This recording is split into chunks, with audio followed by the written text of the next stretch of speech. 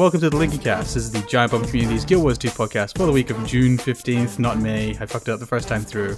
But this week we're actually going to be doing a normal show. Uh, well, kind of normal. We're going to be doing a beta impressions, which, if you're not familiar with how we do things, every time there's a beta, we do an impressions cast. So it can go for any amount of time. I'm not going to limit it. It could go for the normal one and a half hours, but it could go longer. But joining me this week is Nubarama, Yeah, I am. Rawson, Hi, how's it going? Dourin, I already miss my necromancer. and She's so and, pretty. Uh, and now our usual guest. Uh, I'm happy to have him back. Uh, Shinboy630, how are you going? I don't sound shitty this week. Yay! I have a new mic. Woo! All right, so just going around the table here, I just do the normal thing. How what did you do this week? How how, how are you going, Dourin? Sorry, I just uh, checked. Oh, so you, not uh, you, you, you got cancer this week? I was doing well until that question. Yeah. Malaria. Okay, so how's, how's the family going? You, you, everyone, everything's going all right, right over there, Dourin? Yeah, actually, we're going to an amusement park tomorrow. That should be interesting. What Um, amusement park. uh, Worlds of Fun. It's a local one here in in Missouri. Wait, so how old is he? I'll He be sure to is, show up. Uh, not quite two years old. Oh. So Wait, we're going for probably amusement all of about yeah. We're, so we're going to be there for probably all of about two Oh. Hours. oh, why would you take him to an amusement park if he can't make memories yet? Because his grandmother's paying for it, not me. okay. That's a good okay, point. good. Wow. Better do it while we can. Oh, you get pictures. That's like that's half the point of everything before five years old, right? Do you get pictures? Yeah, pretty much. But I mean, the kid yeah, can't I- that's what necessarily I'm told at enjoy an amusement park at below two. Well, no, they actually Yeah. have a whole like kids section. Uh, there's actually a section in there that's uh, uh, it was called Camp Snoopy before, but now it's still Snoopy, Aw. but it's something else. Like So Camp yeah, they have a whole kids section. So Nothing but we'll- teacup we'll see that stuff rides. is. I used to work there actually whenever I was a teenager. So Wow. I- and I haven't been back since. So this will be real interesting. Well, So okay. do you get like some sort of Terrible special memories. Oh hell no. But most people you that live in the city have worked there at some point in their life. Are you scared of like the in, the possible inevitability of you getting there and there being like one person who still works there, and you just look at them and shake your head and wonder what they do with their lives? Is that is As- that could that happen? Do you think As far could as I know, a lot of the supervisors I think are actually still there, which is kind of sad. Oh man, Oh. there was one awesome. guy. There was one guy. He was kind of the the uh, manager over. I worked in the, the food section, and he was kind of the man, manager over that whole area. And uh, he was way into uh, uh, Worlds of Fun. Is I don't remember if I said it earlier, but Worlds of Fun is the place I'm going. Uh, he was Yeah. way into it. He started there as what they call a red tag, which is basically somebody who is 14 or 15 years old, um, and you you are only legally allowed to work at certain places, and there are very strict uh, rules you have to follow, things you can and can't do. Um, Okay. but he started working there then, and Whoa. never left. And So he's a career theme parkist. yeah, yeah. So, and last I heard, he actually like kind of took over more of like a director role at some point. And I think Okay, he's well- actually still Well, there. at least he's moving again, up in the world. It's not like he's Yeah. staying as the red tag guy for the He's rest moving of up his in the life. worlds of fun. in the in the amusement park world. Hey So, man, but you aside need to from pick a that- world to move up in. That's Do you think yeah, eventually? Do you think eventually he might be a manager at the local Six Flags? Ooh. That's Fancy. across Let's the get ahead of ourselves here. So yeah, exactly. Like I, I, that's let's not talk crazy talk now. I mean, one step at a time. He's only in his like late thirties, early forties by now. So Oh, only in his late thirties, only forties. Jesus. You're gonna turn on the TV. He's Oh. gonna be the new old guy for Six Flags. So what have you played this week, Dourin? uh, I've played a, a fair amount of Legend of Grimrock actually. I've Ah, yeah. Oh, streaming that's a that, good um, game. I have a last few days. Minotaur in your party. Yeah, you do. Um, He's a fatty. Yeah, no, it's, uh, if anyone doesn't know, um, Dourin's Twitch TV channel, so twitch.tv dot uh, twitch.tv forward slash Dourin. He's running a uh, nightly or every couple of nights he goes. Um, he's doing a Legend of Grimrock run, and uh, for the first episode, I was in the chat and I got him to make a character named after me. Um, he's awesome. He's a he's a Cynic Minotaur. or like your he real carries name? skulls. Let him die and have Yeah, permanent. he's up to what three skulls now. Yeah, three skulls. Yeah, he, he finally isn't dying every single fight anymore. Like Oh, I I think I've got the, I- I've actually got the secret highest resistance in the party. I didn't mention this, but I've got plus fifty fire, like plus forty and uh, lightning and cold. Well, and by- you know, I also have grace. the best sword in the game too. Yeah, and I have the best sword in the game, and I have the highest protection in the game. So I'm actually the secret tank. Um, I don't do too much damage, but I, I, I lost, outlast everyone else except for the rogue in the back row. Anyway, um, so Legends of Grimrock. Anything else? Uh, Did- pretty much just I've played. A, I've uh, I've been trying to get back into StarCraft 2, but it's hard because I'm also trying to race switch as well. okay. Um, which is been. Wait, what, what, what is, what's your preferred? Uh, I've been touch playing. it, I've been playing Protoss, but after seeing the Heart of the Swarm stuff from MLG, um, and seeing the, the new units they're giving to the Protoss, I'm, I'm not liking that they're kind of doing this heavy focus on Stargate tech now. Okay. Um, I, it's just not really my playstyle, and I'm really, really liking the return of the old Hydras and some of those new units they're giving the Zergs. So Ooh. It seems a kinda lot like to prep myself for recycling from the original StarCraft. Like a to lot some extent, yeah. Like definitely the the swarm host seems like a an evolution of the lurker. Um, and then of course you know Hydra's going back to their old style of just being fast as hell now. Um, and then What was the, it? The new the Viper is basically kind of like the new Defiler, Right. but better. Don't the Protoss basically have like an Arbiter and like a Corsair mix? Kind of, yeah. It, it's it doesn't have, have any direct attacks. Uh, okay, this that does went, this went way too deep. Yeah, it is. Way too But, fast. I own That- StarCraft. that- but that I don't know cloak what any isn't- of this is. that cloak isn't constant. It's actually something that costs energy and only lasts for like a minute. Hey, so we're back. Uh, I believe we just had some tef- technical difficulties there. We uh, left off at a particularly boring part of the conversation about StarCraft, and I'm going to move can't believe quickly it. on from Dourin. StarCraft's not boring.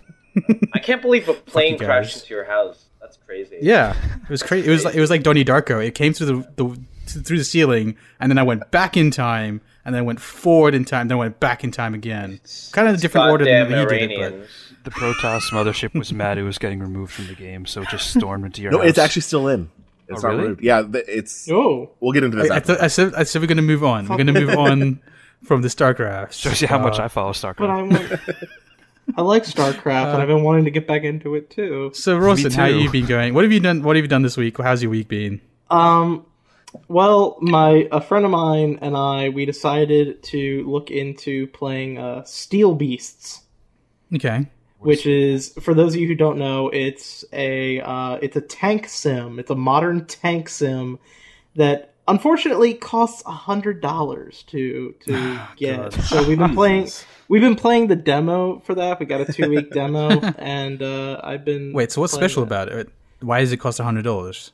because it is it's a tank sim then and their primary client is military that sounds awesome. Oh, right. Yeah. Okay, gotcha. So it's But- cra- it's for crazy people, is what you're saying. it's for crazy people and and it comes with a usb dongle for copy Wait, so is this protection. Now the real more question sim here or is- less sim than um than the Warthog? Not no, No, Warthog. The, um the, that the, plain the real one. question is: yeah Does it- warthog Does it support yeah, track Warthog, IR? right?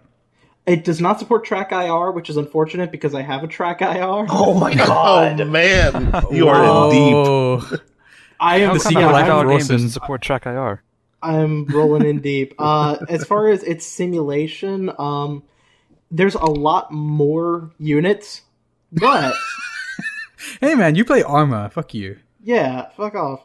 Anyway, there's a lot more. There's a lot more playable units than than than DCS Warthog, obviously, because that's just one. But uh, as far as detail is concerned, there's less like overall detail, but it's it's still got basically what you need. It's a tank, and it works like a tank. So when do you guys think Yes, we're going to get to a point where Sims no longer uh, can get away with having shitty graphics? Well, the thing about Ooh, MilSims is it's it's not the experience of the graphics. It's definitely more like the procedure and um, you know. Well, the- right, but there's other games And- that that can be argued even for as then- well. But even at then, some point, would- they've had to evolutionize and actually try with graphics. I would say Hmm. I would say that the DCS series has pretty good graphics overall. I mean, y- you can go ahead and look at um l- look at like the terrain at, at least like not zooming in all the way obviously it's not meant to look good up close but from like a from like a flight altitude it looks good and all the plane models they look good so that's Like, what you need um, For Flight Simulator, I forgot which one. Not definitely not the newest one. F- maybe one FSX. that. Uh, yeah, it might have been X. Um, one guy. Um, I don't know if you guys have heard of him. Uh, Dead End Thrills. He like just pretty much just take screenshots, like Oh, super super right. crazy screenshots. and they Um, put it on the. Gra- oh yeah. Okay. Yeah, he was using a program that like streamed in satellite imagery of wherever you were flying for flight Wow. sim. Oh So it looked the, awesome. The, It's amazing. the, See, like, uh, I, like I understand that, that the graphics are not, uh, you know, the central focus of the experience. I, I totally get that, but I feel like at some point they're using that as a crutch to just not have to worry about focusing on it. Like, I, I would like to see sim games try a little harder at actually not only, you know, doing such an amazing job at simulating whatever it is they're simulating, but also having a an, um a believable environment in which you It are doesn't it all come down to. this. Like, I want to move on from this topic, but doesn't it all come down to uh, budget in the end? Like sim games, a lot of it does. really I imagine, yeah. The thing is also the Yeah. scale of sim games is usually infinitely more larger compared to any other game in the market. Plus, plus also you're you're talking about essentially eating up another bit of resources, and when you're making a simulation, yeah, you can add on you know some nice, pretty looking normal maps on your tank inside the interior, but that's not what people are going to buy it for. Right. They're not going to buy it for the pretty Yeah. interior. They're going to buy it for the realistic ballistic simulation. Yeah, I, I guess. I guess if we get to, a, I, I guess if we But get to a point where like, they they realistic start ballistic focusing simulation is freaking easy. But I, I, I'm I'm an aeronautical engineer as a as a um, as a background. You, you can do that on fucking a calculator. Well, it's it's it's not so much it's not so much the the path of the thing as much as it's what happens when it hits the target. yeah. Oh, well, damage modeling can be difficult. It depends how you. Mo- anyway, let's move Oh, yeah. on. We can get we can really nerd out when it comes to this kind of stuff. We got what three engineers here, and uh, and Nadir at least knows something. But uh, anyway. Let's I move on. something. Uh, yeah, th- you know something, uh, d- dude. That's been two in a row. That's been really obscure niche games. I don't like you guys. Well, StarCraft StarCraft is isn't niche. StarCraft isn't Niche. obscure, but it is oh niche. God. I'll, I'll, I'll call it niche. It's freaking PC strategy gamers is a niche audience nowadays. No, Like, it I'm gonna- isn't. Niche. I'm gonna, s- I'm gonna put that down. When did Yes, I'm gonna StarCraft throw that down and, and drop the mic. Um, It, it, it's called drop the mic. Barcraft, not Bar of Duty. no one's going to a fucking bar to watch Halo get played professionally. I'm No, sorry. but to be no, but to be fair, they used to go there to play guitar, uh, Guitar Hero. So I mean, Hey, Go bar hero. By the way, Cynic, the, the population of South Korea is over 40 million. That's not niche. no, it's not. oh god. All right, I take it. No, I don't take You know it. what's back. weird? Nu- My South Nubarama, what have you been has doing never week? ever Uh, played How have you been StarCraft. I, I have been playing, uh, what have I, Arma 2. Okay, so as usual. I, I've been I've been playing that too. Um, do you play on the United Operations server by chance, noob? Uh, no, I just play with a couple of the Giant Bomb guys. Okay. Well, sometime you should play on the United Ops server. With Is me. it is it Ace? Yeah, it's it's Ace and Acre. Ace Maker. Is the problem did you is just, my what, have you, what are you saying? is um is ridiculously slow. So uh, basically, I'm I'm having trouble running the game at the lowest settings in most. Oh cases. dear. All right, and Yeah. and to give you an idea, to give you an idea, uh, cynic of what Acre is, uh, you you use a TeamSpeak server, and when you talk on the TeamSpeak server, it models that in Arma as if you, your player character, is talking. So you have to be within ear distance, and then it Oh, also, on it, in addition that's to that, it simulates radio communications. Right. that sounds cool. That makes And sense. Ace Ace is like more advanced Realism. ballistics and stuff like But that. in the end, it's still a game for crazy people. Like, It's still- you guys are. Uh, I I'm just shaking my head. What? I don't think I'm crazy. I've also been playing Victoria 2, but I guess I've been playing not Crusader also Kings All right, Yeah, so it's a Shin Boy. Shin Boy, save me. Um, what have you been doing I'm playing this week? Darksiders and Bastion. Hey, there Oh, we yeah. go. There we go. That's A that's game that way people more of like. a niche audience than goddamn. so so noob. I was playing Crusader Kings 2 as the Duke of Northumberland. oh god, what's wrong What with you you, up Dark- casual? Dark- Crusader Kings 2 is for casuals. You should be playing Hearts of What, Iron. what are you up to in Darksiders, Shin Boy? Um, killing things. I don't know. Cloning Nice. Zelda. Do you like it? oh it? my god, that game is so. I, I love Dark Darksiders. I think it's really fun. Is, this- is this your second Um, time through? Or is this your first time through? Uh, first time through. I'm just playing through so I can play Dark Darksiders 2. Oh yeah. Well, I- we don't know. We're hoping that Darksiders 2, 2 is as good as one, but yeah, one is a fantastic game. Yeah, I'm like four and a half hours in, so like oh, right nice. after um right after the first like big dungeon where you fight Oh, yeah. Or whatever the hell his name is. oh yeah. Yep. Mm. It's such a good game. And then such you have good to go to that area and then like you have to go through all those um there's like the five or six like portal things that you have to clear out Right. right after that dungeon. That's that the that, part that I'm bit can drag. Can, it can drag quite a bit. I did like but, two or uh, three of them and I was just like, Am I done with these? I would then say the there's, good like three more. larger portion of the middle of that game kind of drags. Yeah, I, I think once you get the guns, it starts going uphill again. I think. Oh, there's That's guns. what I remember. Yeah, it's pretty awesome. Ooh. Dark I haven't got the horse way yet. Cool. I, And you, I get the, you get the mount as well, which is freaking awesome. Yeah.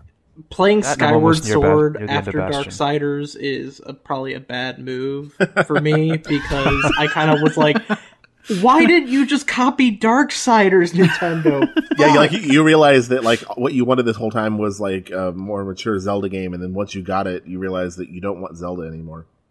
Yeah, oh, that's that's what I've heard. No, That's- no, that's that's, a not. That's not what my. That's not what my realization was. My realization was it doesn't take you three and a half hours before shit actually happens in Darksiders. So that's what I mean. Like like you you wanted this this newer, fresher take on on Zelda, and then we got that with Darksiders, and after getting that and going back and realizing that Nint- Nintendo really hasn't stepped up their game with their with their mechanics of Zelda games in a long Not even mechanics, time. and, and I think Ros- Rosen's even coming down to like storytelling. Like Darksiders was Oh, like yeah, straight totally. bolts to the wall action, pretty much from the The start. Game's so dumb. It, it didn't. It didn't waste my fucking time.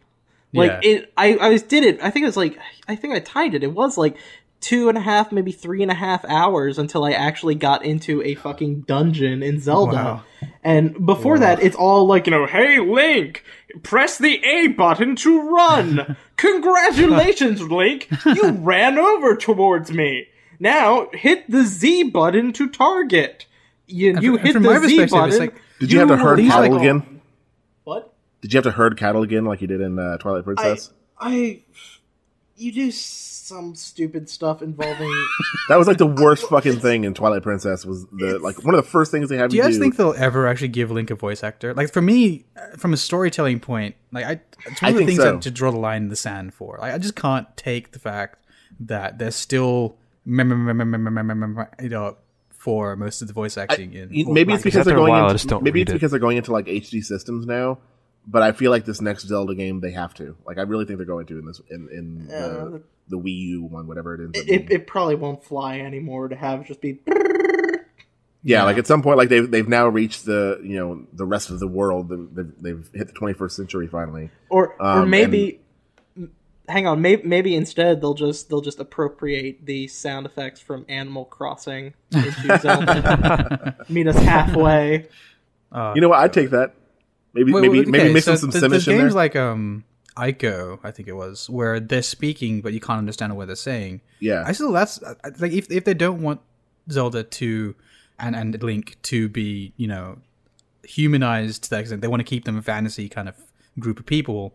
Like, even that is better than their current solution. Oh yeah, there you go. Have just, them speak just the make up a language. yeah, Yeah, I, I loved how they did that in those games. And- and Actually, didn't hang on? Didn't they do that with uh, what's her name, um, Midna in Twilight Princess? Yep. Yeah, Oh, they cool. did that. She actually had speaking like she actually spoke. It was just in Okay. a different language. Nice.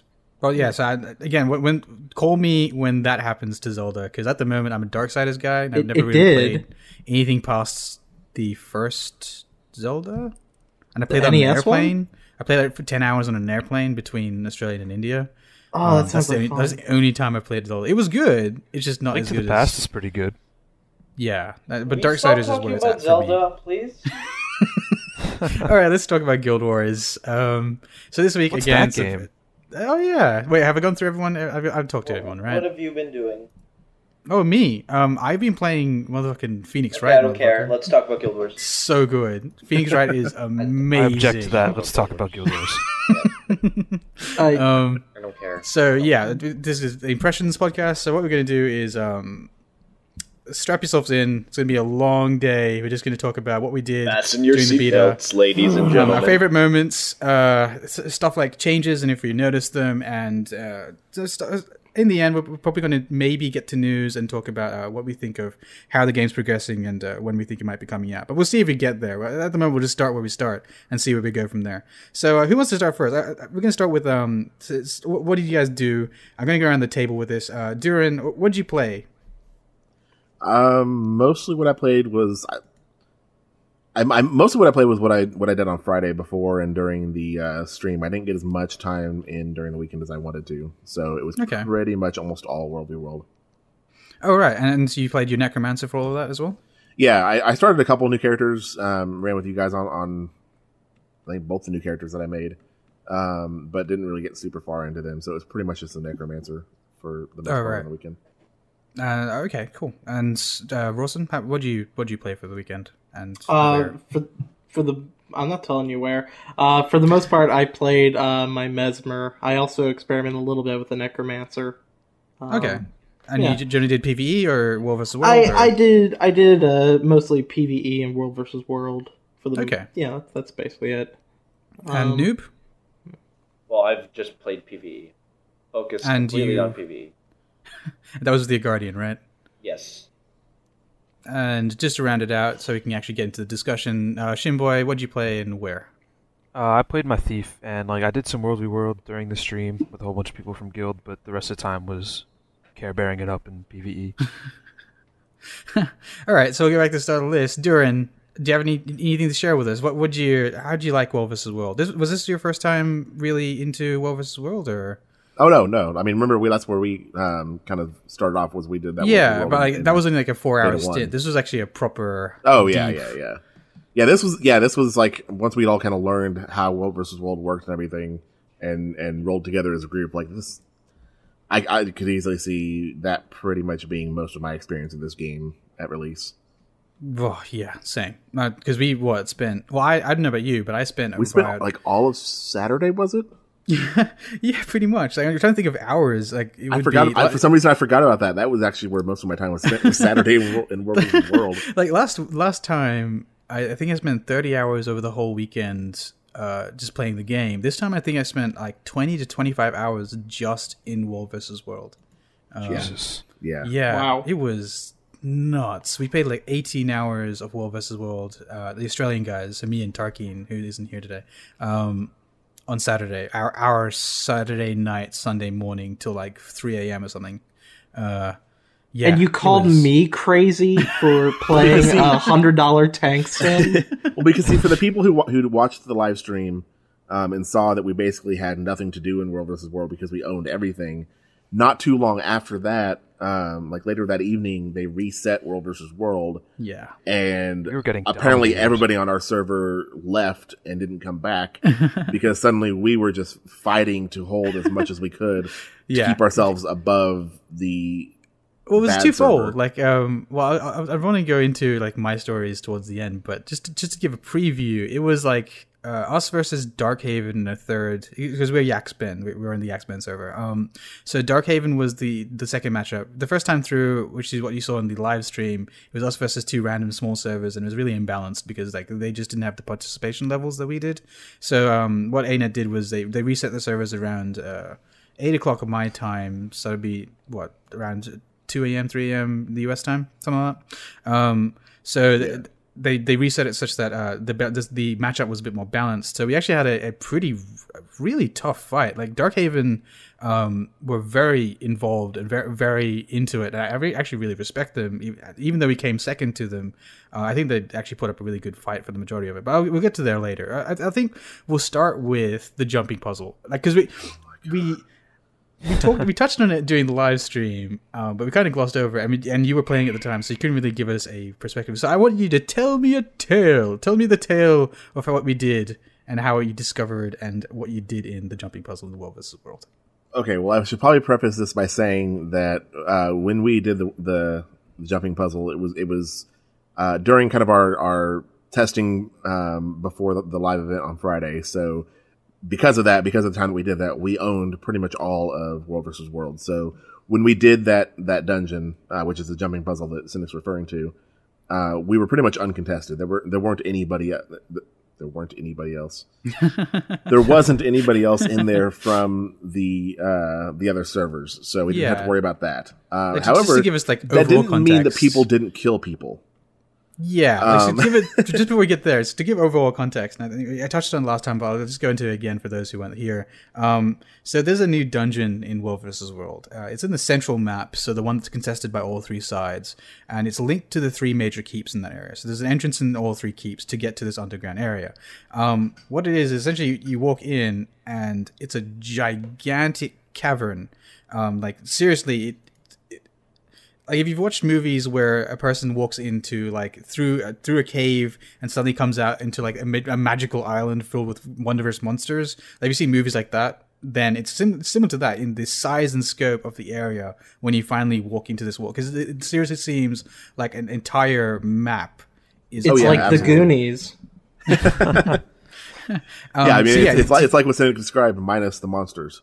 Yeah, exactly. Well, there's So it's the Cave of people. Wonders. People are the mo- are the Yeah, I was gonna say, but you didn't need them because there were people. Yeah. So um, and so you get there via World World versus World, but it is a dungeon. It's not instanced, so we can confirm. Well, you can get okay. down there, and it's always it's on. yeah, it's not instanced, and, and and I guess my misunderstanding of what instance meant was why I was confused about it before. Yeah. It is It's its it is own behind map. an instance portal, yeah. It's, it's behind a um, portal. It's its but there is own only map. one instance of it. exactly. Okay, So I was that's- confused about yeah, that. so that's how it ends up working. Like so, when people said it wasn't instanced, I was like, well, how is that going to work then with resetting and like Yeah. I, I, I didn't understand the, the logistics of that. But after going in myself, it's like okay, it is behind an instance loading screen, but there is a Yeah. single instance of it, so everybody that goes through that loading screen all end up in, in the same area. Yeah. So start from your could from um, what you felt when you first walk into the area and how we found it. I think we took it took us a while to find it. So Uh, start from yeah, there we, and go we on. basically we basically noticed on the on the map that uh, every one of the keeps had like a um, I think it was a purple circle on, on the keep, and we, Yeah, we kind of guessed okay like this, this must be where it's at, and I just kind of on on a whim when I was heading back after I'd, I had died to uh, defending a keep, I was like I, I'll, I'm nearby one I'll go down there and check it out. So I go in there and and hit the load screen, come through it, and again like there's just this massive massive cavern um, that just like in, in front of me there was this like purple crystal that was kind of on a pedestal and then further back behind that there was this much larger like back behind and way up there was this much larger purple crystal. Yeah. and of course you know intrigue i had i immediately run up there and just hit the purple crystal. Um, and it shines a light in a, in a direction. And i again like just you know inferring that clearly they want they want me to go that direction and so that began the jumping puzzle like we kind of Sounds so stood there for a while. Uh, yeah, we did kind of stand there for a while. like we weren't really sure. Um, I, I at one point had uh, I, I don't recall who it was that was with me at the time. It was time. Tarkin. It was Tarkin. Was it Tarkin? Okay. Um, had them like stand there and hit the button because I thought maybe it, it was like on a timer and would raise yeah, something. And so because we, like we when just, you just when a you little heard bit of testing. dungeon, like when they said it was a dungeon, I, I expected like a classical dungeon where like you go down steps and there's like a dark, Right, dingy. right, and especially when Yeah. they describe it as like a dungeon with like traps and, and things like that. that you Yeah, I thought it was like Legend of Grimrock. I think it'd be like essentially a Guild Wars equivalent of Legend of Grimrock. Um, and and you go down there, and Yeah. but instead, And it's instead like it's- a it's like a inversion of that. yeah. Instead, it's, it's more of like a, a Guild Wars version of Super Meat Boy. Oh, oh because no! we, we start we started off the jumping puzzle and we realized uh, after going through kind of the first hallway Does it You go 2D? if you no i wish I would have made it easier Does it show all the God. replays when you finally make it? oh, again i wish that would have been amazing no, it just crashed the server. It would crash the whole server.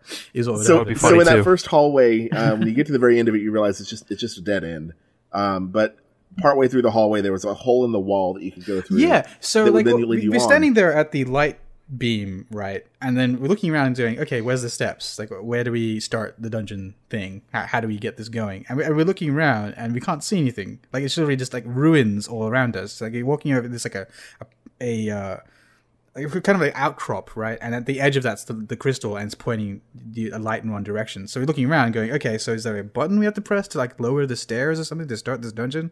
But then we look around and we see that's like hallway, like moving to the left, and that's what he means. Like we go down the hallway and it ends in a dead end. Like it ends like this little bridge Well, it's not a thing that breaks off. off. Yeah, then it's a drop off to like nothing, and we're like, okay, how do we? Where does it start? Like, is this broken? Like, is this like a dynamic event that has to like trigger something? And then yeah, we see that a hole in the wall, and during just like, I'll, I'll let you go on. But if you see a hole in the wall, go. yeah so we, we see the hole in the wall and so we, we decide okay this seems to lead to the path that looks like it would lead to where that light is shining so let's go this way so we jump across that do a, you know a couple more fairly easy jumps and, Yeah. and, that, and that's kind of the thing about this jumping puzzle slash dungeon place is it starts off pretty easy and by the end I, I, I would love to know I, I love, I'd love to see the numbers of how many people actually made it to the end of this thing Oh, over I the hope they course of the release weekend those. Yeah, definitely. um, because I don't imagine it was a lot, especially once uh, World War World combat became more heated.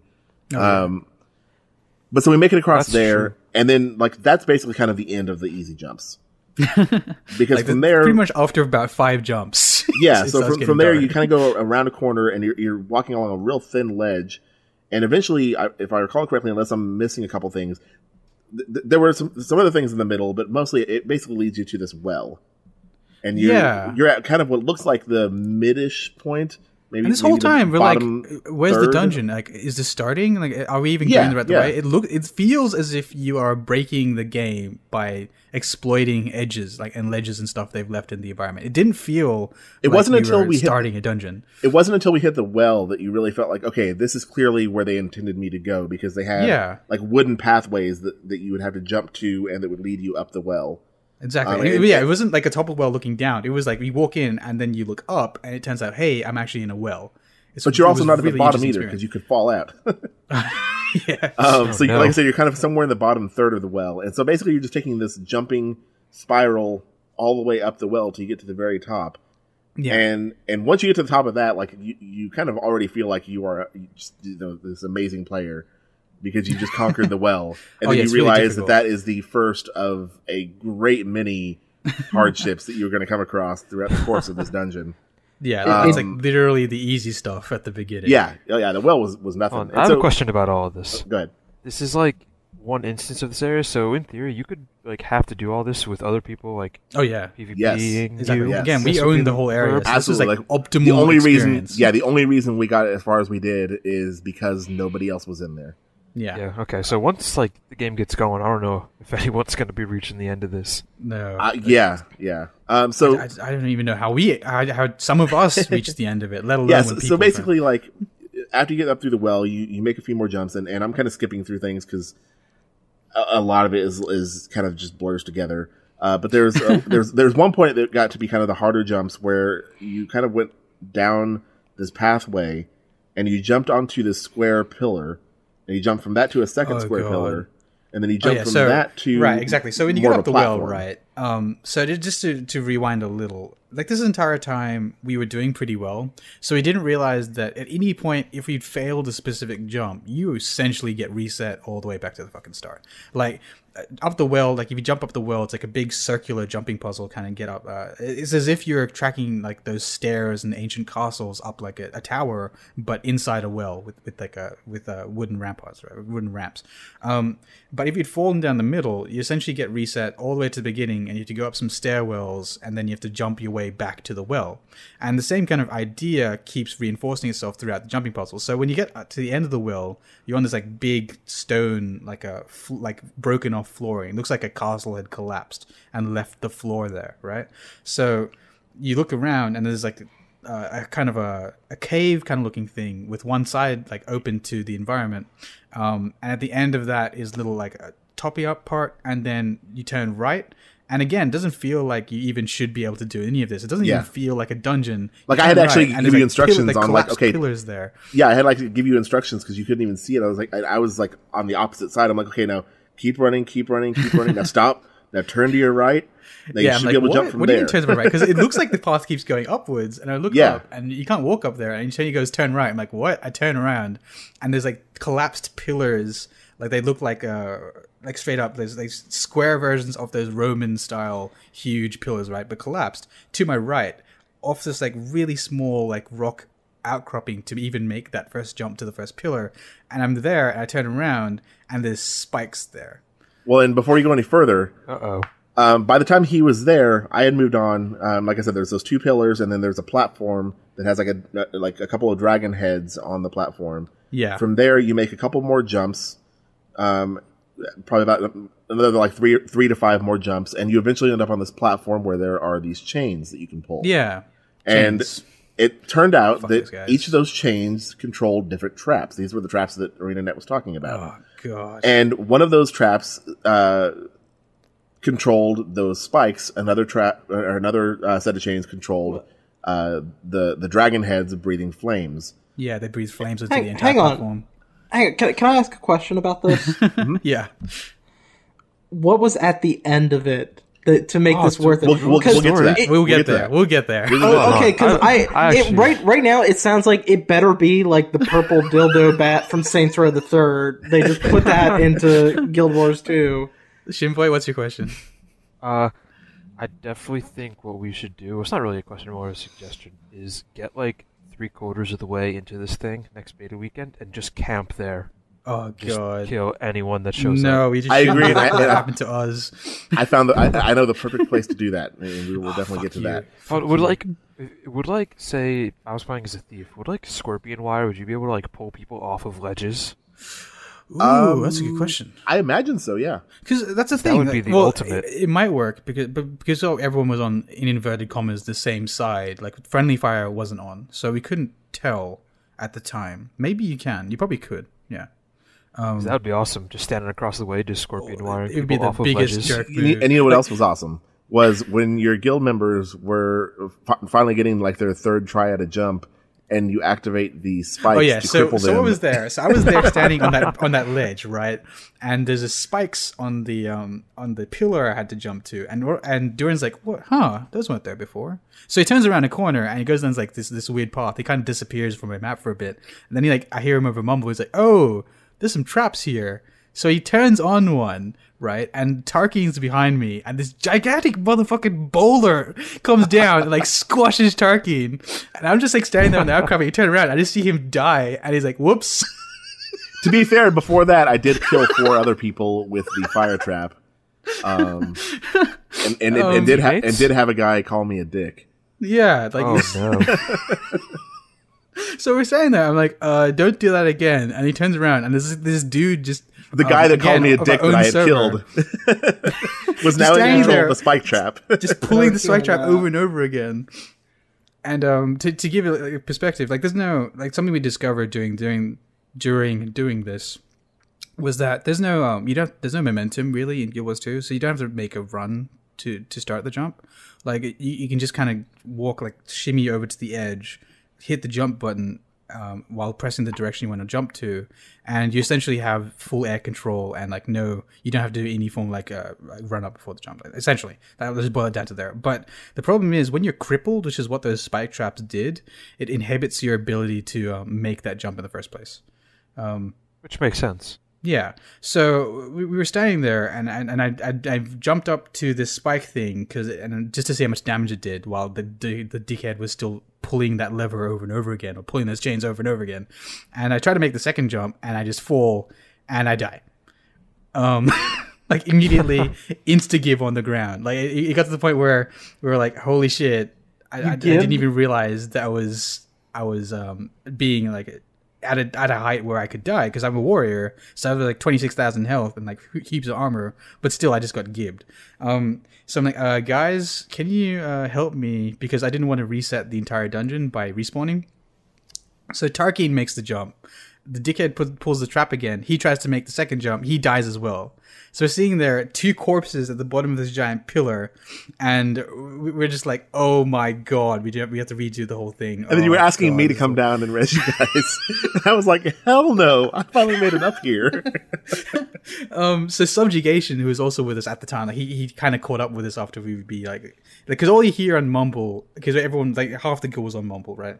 So all they'd be hearing is like, oh fuck, oh god damn it, oh my god, there's spikes, that jackass, like stuff like that is what we'd be shouting over Mumble, and so uh, subjugation so it c- comes up. And he finds a stairwell that leads down from where the boulders start and where the first ledge to get to the first um, pillar starts, and he comes down and he reses us like like a pro, like like a G. I'm calling out right now. He's the biggest bro. He totally reses us, and so what this sets up is even though there's very many difficult jumping sections, there's many resets until well for this first section anyway. Let's just say for the first section, it's really easy to reset yourself to kind of where you left off.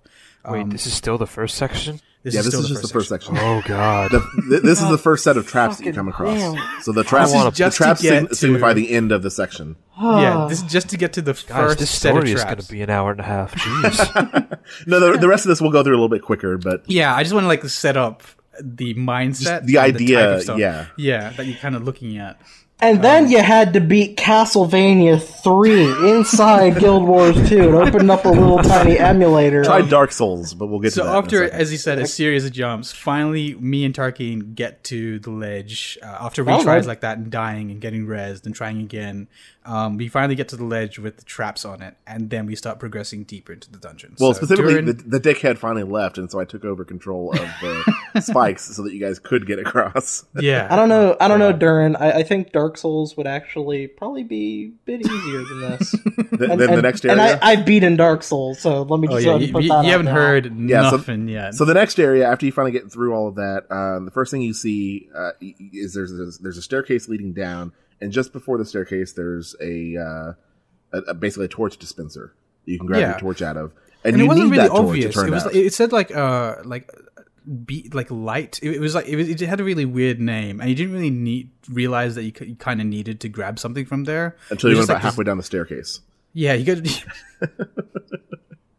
so let's set this up. So we, we get to that. Uh, well, I died a bunch of times, and Dourin got there much before me. But like, uh, so it, I assume this is how it was for him because it was like this for me. You stand at the top of the stairs, you see this like dispenser, and you're like, whatever, I don't, I don't need anything. I'm pretty good where I am. I'm at full health, whatever.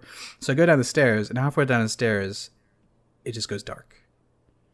It just goes completely, Uh-oh. totally, and utterly pitch black. I couldn't see oh. fucking thing. And now, welcome it's... to the entire next section. It, it's Tomb of the Giants from Dark Souls. Yeah, so we made so it out of section one. So yeah, we're out of section one this now. Is section, section, okay. section, Se- two. section one was to get the first set of traps. Section two was uh, like more of second one, section one to get to a second section uh, set of traps. And the weird thing is, to get to section three, it wasn't really particularly obvious. You had to kind of go like around this corner, around this like a, a couple of like like fallen down walls and stuff to get to this yeah, small yeah that was, it was that, real weird the the jump yeah to get to this like weird small jump to like a pillar in the middle of nowhere and then you, it again you look around you can kind of see this this area that's a, like a, a, ledge that you can get to that has these stairs on it which yeah is kind of it, it, it, again kind of felt like you know you were breaking the game the whole yeah it didn't across. feel like you were going down a dungeon it felt like you were just like exploiting things they've left in the environment it was, yeah, it was a weird yeah. thing but yeah, so, we'll skip so over to, the second section. Yeah, so go ahead and push this along. Um, so I grabbed the torch and and headed down there. I actually didn't hesitate at all. I saw the torch and I guess just the like gamer mindset clicked in like, oh, I need to go grab that. So I grab right. it and run down. Um, and what we're met with at that point is probably the most devious section of the entire thing. Um, yeah. Um, because we weren't kidding when we said like it's it's utter blackness and welcome to the whole next section. Because yeah, there is no like, lighting in the entire section. There's none. Your, there's, your torch is none. your lighting. Um, and you are then jumping from square platform to square platform to outer darkness, wall ledges in complete darkness. The only way you can see it all, and I and I actually found out you have to have your graphics set up to a certain um, oh, extent wow. okay. in order to actually see the flame from your torch. That you could throw your torch and it would land somewhere. Oh yeah. In, so in order to see is, that flame and actually have right. lighting from it, you had to have yeah. your graphics up high enough. Exactly. Like you pick up the torches right, and they replace you. They replace your weapons, and which is an interesting thing because this is a PvP dungeon. And I don't know like how how this going to work in the future, but anyway. So they replace your weapons, which means that you're walking down to the dungeon and you have two options. You have throw a torch at your feet and throw a torch like kind of like it doesn't really even give you an aiming yeah like where are you're looking it doesn't even give you an aiming reticule you kind of just have to like guess um yeah. good thing is you have infinite torches apparently but straight up the only way to light your path is to throw a torch at your feet so you can kind of get an idea of what's like in your general like immediate vicinity. And then maybe you'll see the edge of a jumping like platform in the like the very edge of your vision because beyond that it's just complete darkness. Yeah, so you have to yeah. throw another torch to that thing and trying to aim it just right so your torch actually lands on it. It's actually more difficult than it should be. And then la- the torch lands on that and lights the area around mm. there and then you make the, the torches like stay there for a good while uh, there for about thirty bit, seconds, yeah. maybe yeah. forty seconds.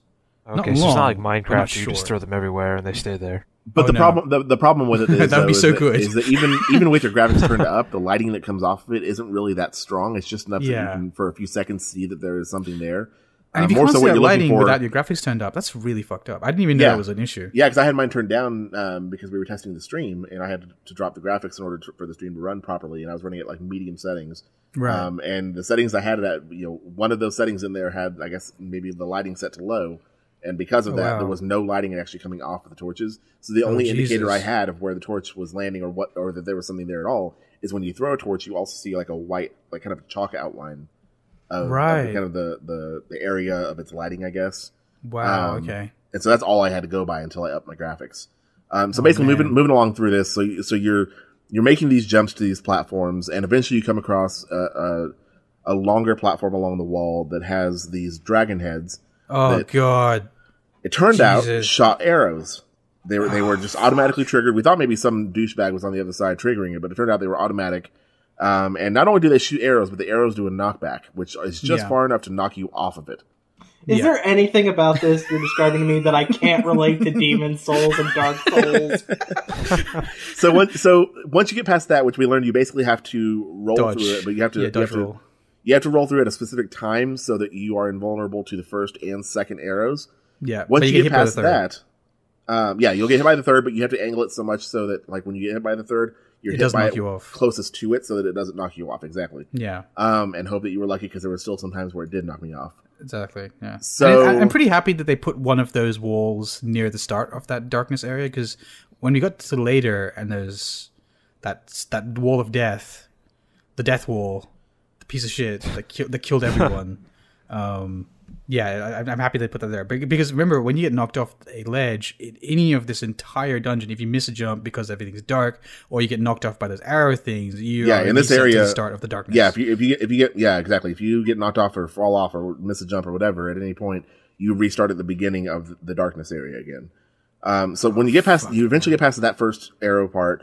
You make a, a few more jumps, and, and the jumps start getting smaller. It's not the big Yeah. squares anymore. It's it's kind of slightly smaller things.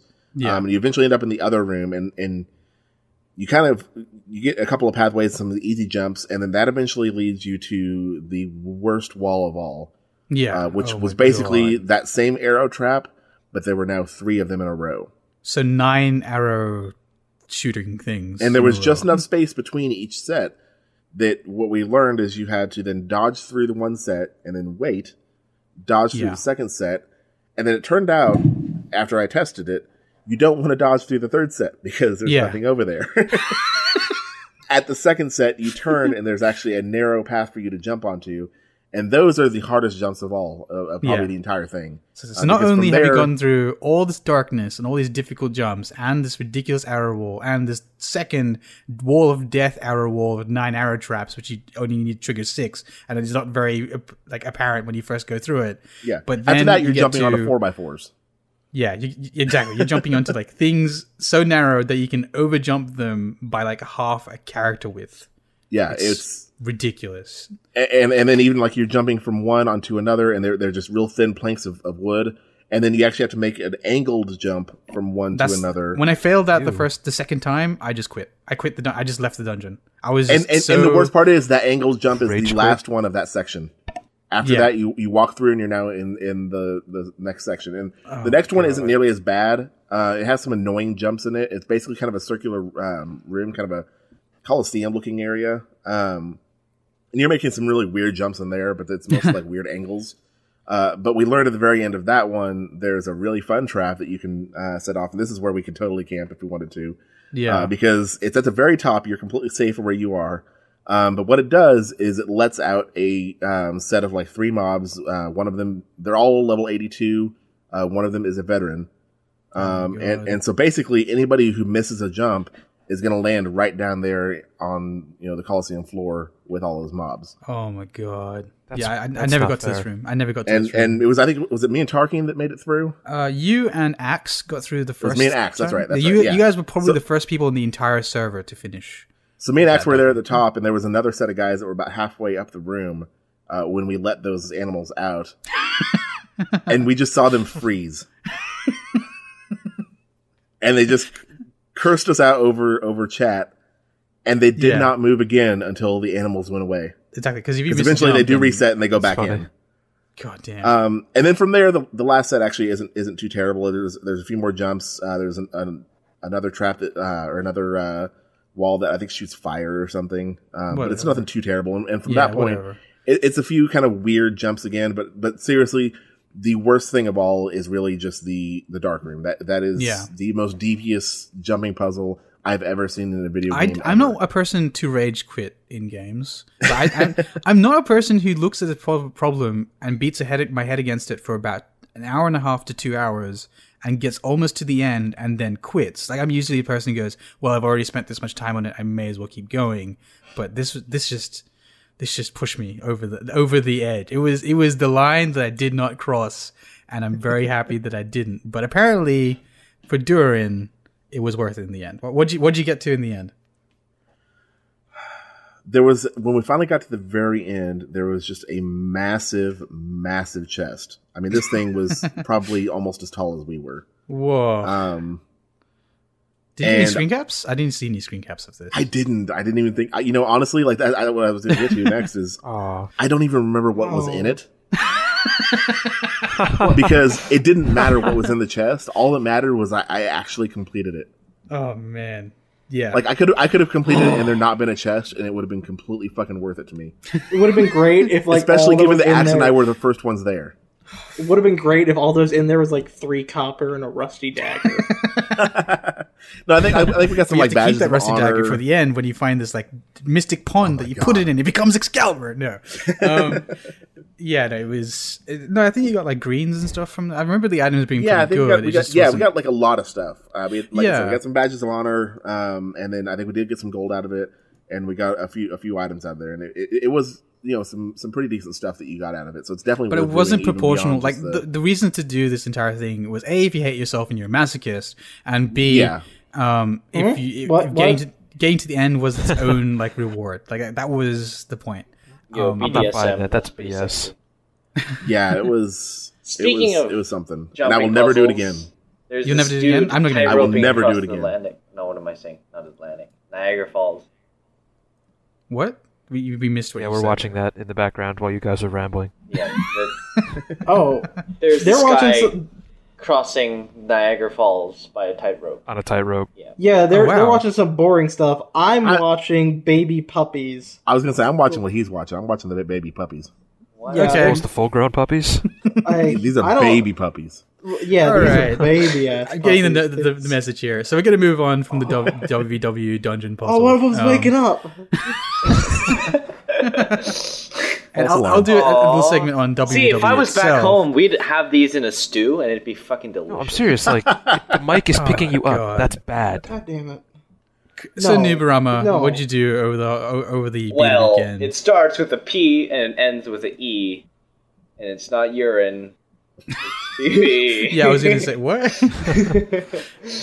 um, so I, I did a multitude of different mini dungeons. I attempted to do Ascalon Catacombs, but I'll go into that later.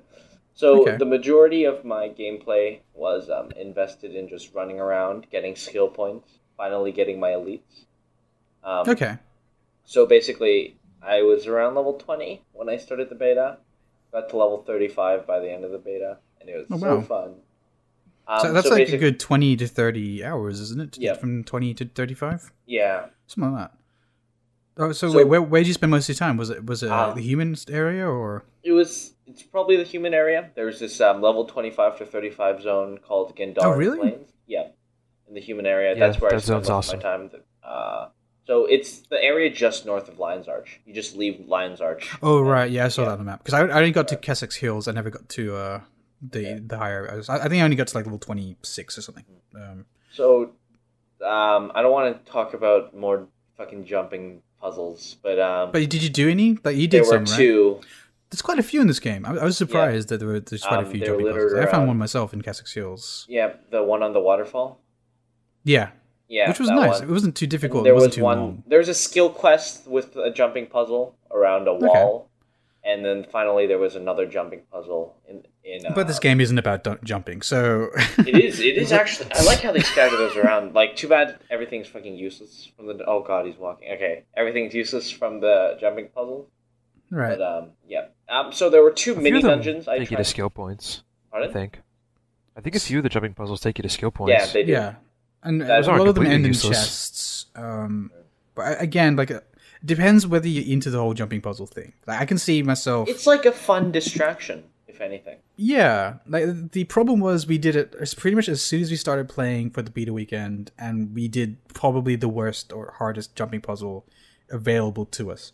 I um, hope it was the hardest. Oh god, I bet there's more. I bet there's more difficult ones in like the end game of P- PVE, but like a lot of the jumping puzzles are pretty short. Like the one we talked about just then took us about two hours to three hours. I, I would love if that was if that was Guild Wars Two end game. It's like we don't have rating, we have Jumping platforming. The Yeah. fact that they called it a dungeon really scares me because if the dungeons are like that, oh my god, I'm just quitting now. I'll, I'll, I'll just see me. You'll see me in WVW. Fuck you, PVE. Fuck you. Um, no. So, uh, what what events did you do? Like, did you did you do anything fun? Did you like anything? Uh, well, there were memorable? two two mini dungeons. Well, one was smaller than the other in um in Guild Wars Two PVE. So there's Right. one dungeon underwater in like some sort of ruined Oh, cool. area underwater in the Char area, and Oh, right. basically um it's like a level 25, 28 zone or something like that. And Okay. basically, it's like a ruined underwater temple, and there's a bunch of different puzzles you have to go through. Fight under or the Flame Legion underwater, um, which doesn't make sense because because they're flame They're legion. the Flame they're Legion. Flame Legion. But there's like cold torches that light up, blah blah blah. And there's this huge boss fight where three of us try to kill this champion boss, and we wiped. So I quit, and then I quit Wow, out, okay. and then I went to bed, and then I woke up the next morning, and there's this other dungeon, this that's full of traps, um, up north in Gendarran Fields. It's like a crypt, and basically Okay. there were ooze, those you know like the prismatic ooze are Right. in the original Guild Wars, basically like Ooze that. Yeah, uh, yeah, basically. Um, and there were a bunch of traps where people would instantly die whenever they. Wa- So, are these jumpy puzzles dungeons as well, or are they No, they these like are actual just traditional? dungeons. Yeah, these are. Okay. There were. It was a really short one, and the, the chest at the end. It oh, seems like are because um, Arena's used a couple of different terms, right? Uh, It seems like mini dungeon, like what we originally assumed was Uh, a well, mini the- dungeon inverted it- commas it was- they- means. it was called a crypt. The area was called the crypt. Okay. And um, Yeah. it, it was basically a crypt. It was very small. Um, Okay. It's like a. It's you. How long did it take you? Um, first, it you need a like a four man group to do it. To be honest, because there's a champion Right. spider at the end that you need to fight. and Wow. Stuff like that, and it's a small puzzle. Like you need to destroy walls or something like that. okay. Um, it, it was very short. Maybe I'd say fifteen minutes top. oh, okay. Right. So yeah. yeah, as I was saying, like mini dungeons inverted commas is apparently something that's quite frequent in PVE, and I think the major difference between a mini dungeon and a normal dungeon is they're completely not instanced. So like you, you just Yeah, you people literally were just running through. wander it, into it. Yeah. Yeah. Yeah, like- mini dungeons are just like sort of like special areas. Yeah, exactly. And, and you find a Oh, lot yeah. of them of I different mean, types. there's a yeah, there's something like that near uh, in in one of the beginning zones for Char. Right. Yeah. And, and wait, do, do you want to run us through what, you, what your experience with it was? Me? Yeah, sure. Rawson, you, you brought it up. Oh. So Um, well, uh, nothing much really. I mean, it was, it was just basically there was one event and there were multiple bosses that you had to go through, and basically I I, I lucked out. So did it come up as a, a um, dynamic event in- in your map? The one I found didn't. Yeah, for Um, me, it, I don't was think just I don't think it. Okay. Yeah, I, I don't I don't think it was, but I could be wrong. Right. Cause, yeah, it's it's amazing how much content is actually hidden in Guild Wars 2. Like straight up, you, your your normal everyday dynamic events and your um, personal story and all that stuff is pretty well pointed out to you. You're walking through an area, a big orange circle appears on your map, and you go that direction, and you do an event.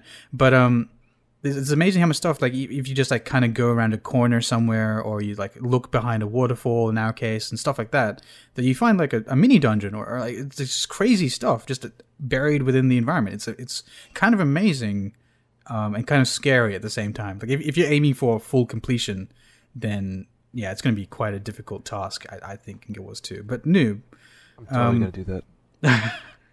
oh god uh, good luck good luck Um, mate one thing I encountered, especially with underwater dungeon, is that if people are too spread out and you, you don't get an actual group going, you're not going to be finding random people in these dungeons. You're going to be going at this with like too few people. That's what I ran into. There were only like four Right. people, including one giant bomb guy, and um, Right. we we did not have enough manpower to defeat that boss.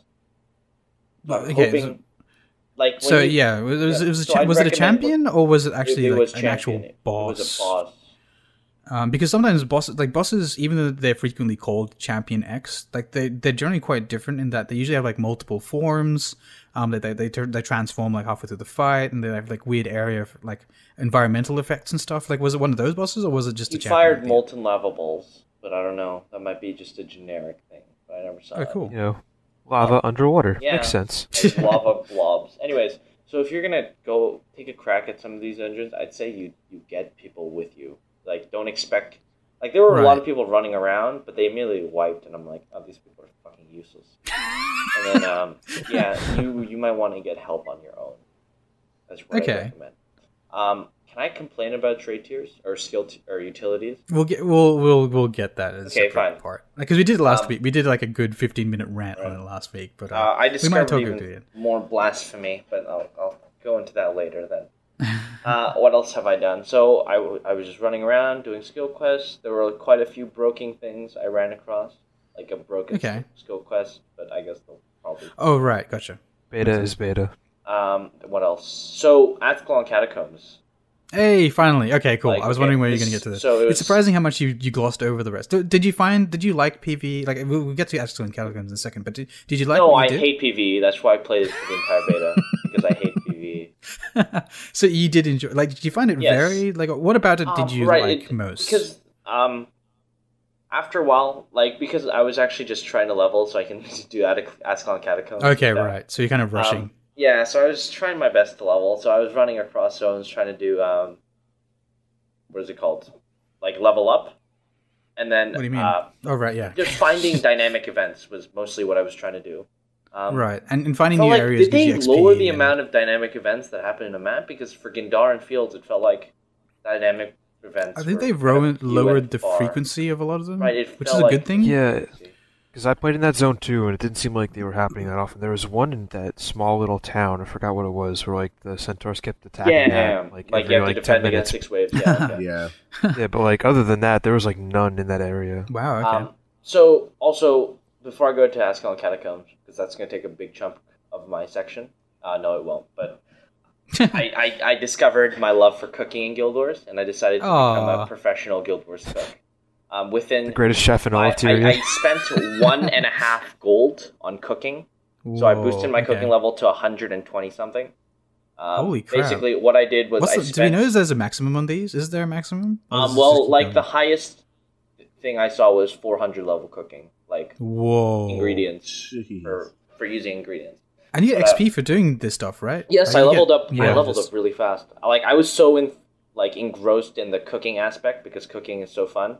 Um, So that how I- does so how does cooking work in Guild Wars? 2? basically, it is you can either buy ingredients or um, collect them yourself from either killing moas to get meat, picking up herbs from the ground, doing karma Okay. quests, and getting stuff from karma vendors, or you can just Right. directly buy it off the master chef, but he only has a limited range of um, ingredients. okay. So basically, and then so you collect all of the ingredients you need, and then you start cooking, right? And the I'm so what's sure. the interface like? Is it like Right, the, right. uh, So the crafting? basically- like what does it look like? Um, cooking. I don't know about how crafting works, is but cooking you discover new items by like randomly picking ingredients. Yeah, it's it's the same way because I got up to like hundred and ten, I think, as a jeweler. Okay. Oh wow, okay. So So I was discovering So, new yeah. things like pasta, and it's going to be so delicious. I'm start. I Oh, think I'm starting awesome. up a private, you know, a restaurant in the guild, and then supplying the guild with goods at like two gold. Oh, you sent me some pasta. Yeah. Uh, my my character was relatively people were unimpressed by really the mean. pasta. Yeah, it was awesome, but oh, so I spent around. It's it's quite expensive. Like it's an You- expensive. You should have used some Yeah. squid ink in that pasta. Oh.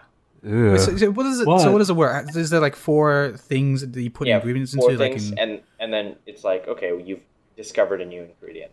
And it doesn't work like uh. So how? Well, just to, to break it down for people listening. Um. So crafting Guild Wars Two is a thing. You pick two crafting professions when you walk into Guild Wars Two, but at the same time, you don't lose any progress on any professions that you've done if you switch professions. So, for example, you can do like uh, armor crafting for twenty levels, then weapon crafting for twenty levels, and then switch them both to cooking and jewelry, and you're keeping those twenty levels in your bank, but you, you're now leveling up two different skills. Um, I don't know what the real benefit is of having a limited crafting system if you're keeping all your XP anyway. Right, I don't see Um. It's kind of useful because if, if I look at the guild like listing, I can see who's good at cooking and who's good at crafting. so That's if I me, wanted by the something, way. ask I'm, those people. I'm top cook in Tyria. Top cook. I want to be Well, the the very top best jeweler cook. in Tyria. Like that's my Nice. mission to become the bestest cook in all of Tyria. Well, but yeah, so essentially, once you've done that, um, you find these master chefs around the world who a sell you like rarer and then you um, duel them in the gym. What? What? okay. Uh, and it- it's kind of cool that they sell you rare ingredients. I love the idea of there being rare ingredients in Guild Wars 2 for cooking, and they- Right. they do the same thing for um like armor crafting. Obviously, like you get rare metals and stuff. But I love the fact that they've done they've they've put in such like a complex and like a well thought, interestingly thought out cooking mechanic in Guild Wars 2. Um, I'm going to make a, a cod piece made out of unobtainium as soon as I can. to, to reflect your real life status, right? Right. I'm so Rare sorry. retaining. All right. I'm s- I feel so just sorry for to, you, to, Rosemary. to reflect my LARP armor, you mean? yeah, that's what I meant. Yeah, that's what I meant. Alrighty. Um. So yeah. So uh, you you go into the cooking interface. I think you run up to like a pot. It's that's that's the um, or like a crap, like a fire or something. It's something That's- really that's weird. I adorable. don't remember any of it. Again awesome. Um, like you are this great adventurer who's saving the world, but also a master chef. It's pretty No, awesome. The thing I is, the... um, I'm sure because the original Guild Wars consumables, it's a booming industry. It's like a multi-trillion-dollar industry in the original Guild. but that's Wars because there's no way, there's no real like generation of con- consumables in the original Guild Wars. Like there's no like crafters in the original Guild Wars. Right. No, there. Mm-hmm. Well, I made most of my money crafting concepts. Well, you just sort of get the things and take it to a dude Yeah. and trade them. Oh right. So yeah, it's like equivalent of a, a So- trading system. So like, But here it's since, actual like all of these all of the benefits even work in PV or world versus world versus world. I'm Right, assuming yeah. like the benefits are huge. Exactly. Like, so what you do is when you complete a cooking thing, i- yeah, it gives you like, for example, spaghetti in your inventory, and that's literally consumable. So it lasts for like ten minutes or whatever, and they give you a, a, a cons- constant single buff. I don't think you can stack multiple of them. I'm Oh, pretty you sure can you can't. stack multiple if they're different. I believe. Oh, okay. So Yeah, there's like hold on. different I'll- subtypes. Yeah. Because like they had this in in uh, Aion, which don't play that game. But anyway, I did cooking oh in god, no. Aion. Never play Um, Aion. um, but yeah, you could have like a food and like a drink active Oh. at the same time. Oh, Mm-hmm. cool. That's kind of cute. But So, they weren't yeah. they weren't huge in bonuses. I think it was like only plus ten toughness or something for ten minutes, but still something. It's kind of cool. Yeah, Um, it, it, was- it was. it I'm was assuming little as you get higher level, the bonuses are obviously greater. Well, I hope I hope they don't get too huge because even though it's interesting having like the idea of having like a world versus world team and a cooking team to like support them, uh, it's it sounds fun and hilarious. But I don't particularly want to have to do that. Like, even though you enjoy cooking now, I'm not going to like relegate you to that task if you're Why the only not? one. I want to be the cooking god of all of tier. I want to be the. Ver- I want to be like Ash Ketchum except cooking. Um, but, but continuing on. You don't want to cook your Pokemon though. That's a bad idea. But the dogs So- look so- so delicious. Okay, no. so yeah, uh, you get XP for discovering right, new, you get, new like, um, recipes. When I try to do cooking, like when you first sign up, it's like, "Do you want to become a cook?" Whatever. They're like, it is the most time-consuming and expensive out of all of the other crafting professions. really? That's what they told me. Yeah. When I, Wow. when I tried to do it. Wait, so the NPC told you that? expensive. So basically, um, I spent a good thirty silver on ingredients, and then I spent a good and then a gold on a cooking outfit from the gem store. Um, Wait, so was- what's the benefit of that? uh, nothing.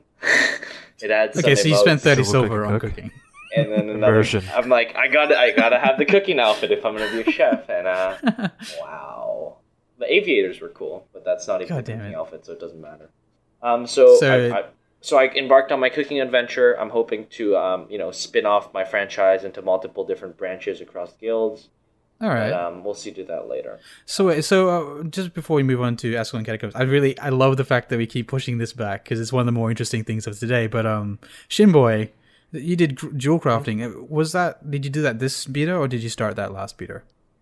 I started last beta, got up to like sixty something, and Right. then this beta I pushed it up to like one ten. Okay, Yeah, suck it. So I did all that in one beta.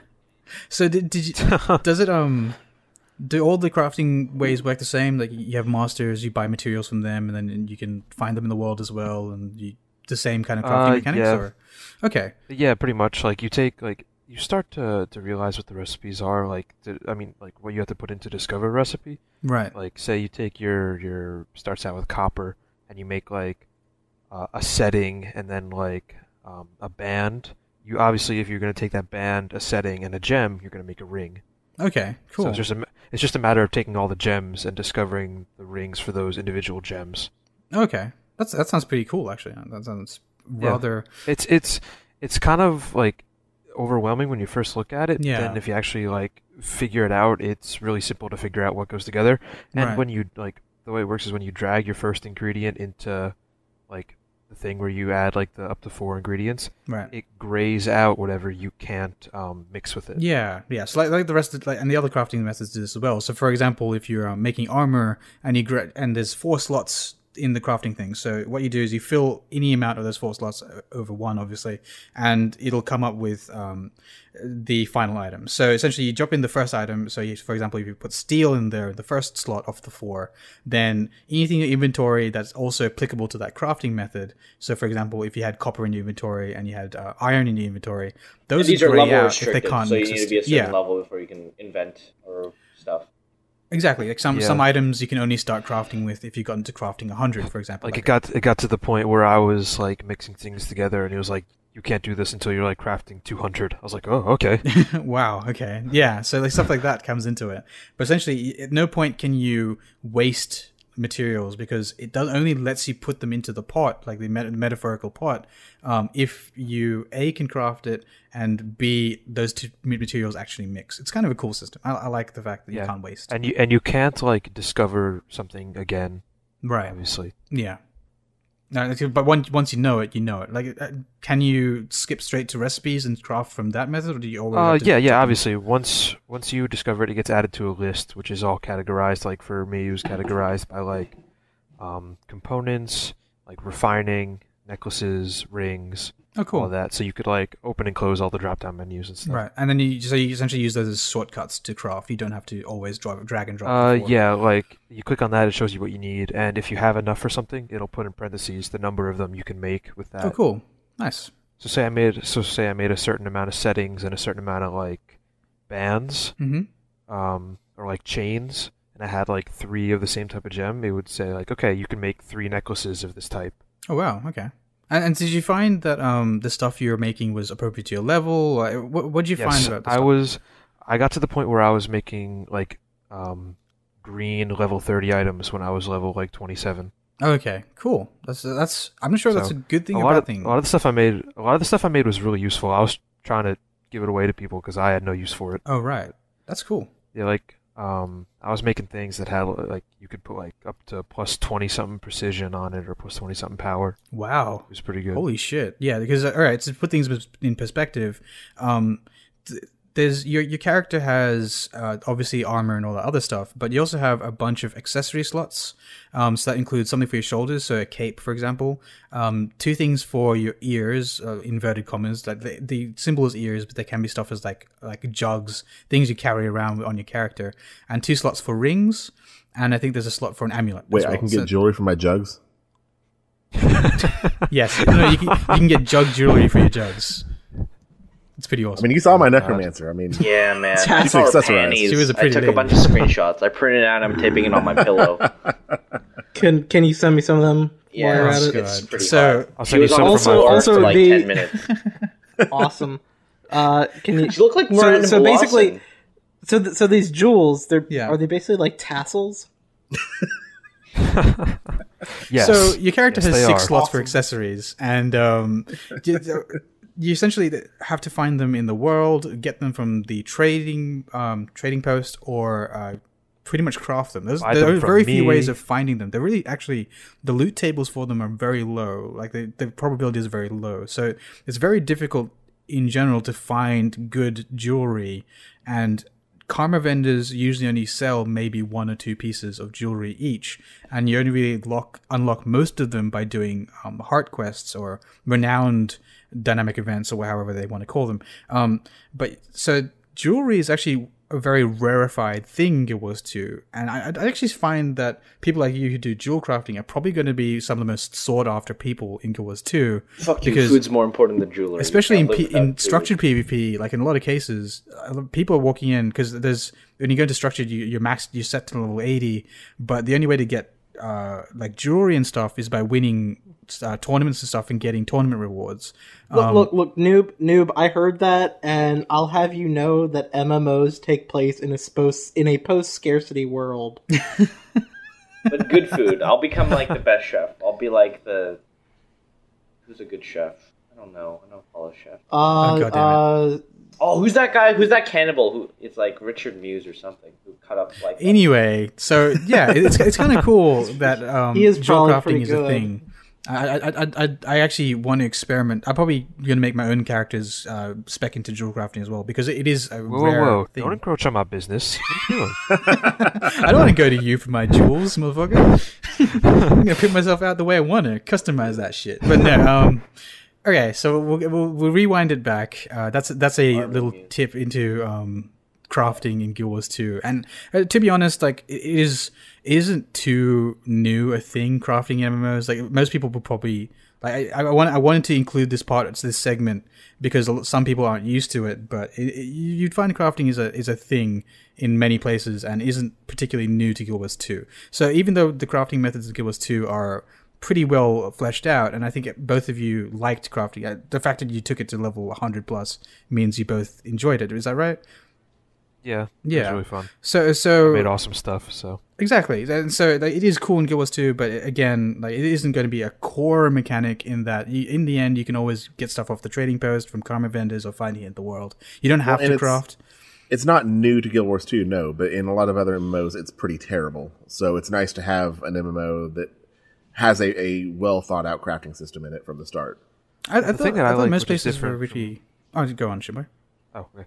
Well, the thing that I like, um, which like other MMOs that I've played, the crafting systems, like I was making useful items right away, as opposed to having to go through all these Yeah. like really Okay. bad items or work orders or whatever just to get my level up, just to make things that were semi-useful. Well, and you didn't have an, you didn't have the idea of like trying to craft something and oh, sorry, you failed, everything's destroyed. Yeah, And, and that that's a really really popular thing, at least with Eastern MMOs, Right. uh, God, which, yeah. which are pretty much kind of. I mean, when you look at the MMO market, most of them are Eastern MMOs. There's not a, really a ton of Western MMOs. like MMOs these from days. Afghanistan. Shin, Shin, uh, you played Aion, right? Oh my god! yes. You, you remember the two separate Let's talk bars? about Aion. Let's talk Oh, about There was- Runescape. yes, the two on, separate bars. Hang, hang on. Yes, I know. bars, Yeah. The failure and success bars. Yep. Yes, there were two separate Oh, wow. bars when you were crafting an Aion, one for failure and one for success, and whichever one filled up the most, that determined the outcome. And, and, and Really? occasionally one of them would just randomly get a boost. Yeah, Okay. occasionally one would Yeah. just randomly get a boost. Why is that guy fuck it. still there? So take I'm everything. I said gonna, I'm not going to get Apparently into it, but it's awesome not nearly as bad as Final Fantasy 14. That's all Holy I'll say. shit. Okay, you, you guys The both thing say that crafting is pretty cool in Guild Wars 2. Final Yeah, Fantasy except- 14 has a crafting system.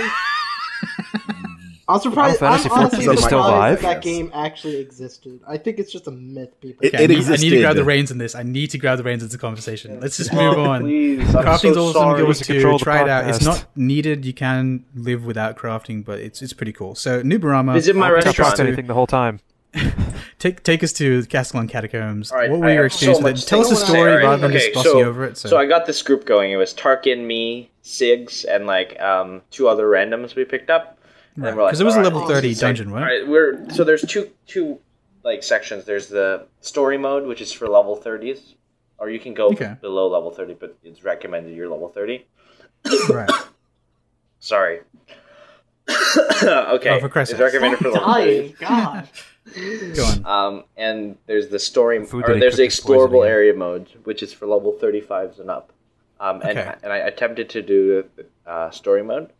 So we got Okay. We got. I'm like, all right, who wants to do Ascalon Catacombs? And then we got the highest levels in the guild to do Ascalon Catacombs. And then we're like, all right, let's let's find some uh, pickup groups. So two random guys, and so we called them over. We found them, and then we're like, all right, let's do this Because this is an instance dungeon. You kind of want to have to go in instance, with five people, right? Right. And then you Right. you you get in there. Oh, he made it. Okay. Just saying, the tightrope guy, he made it.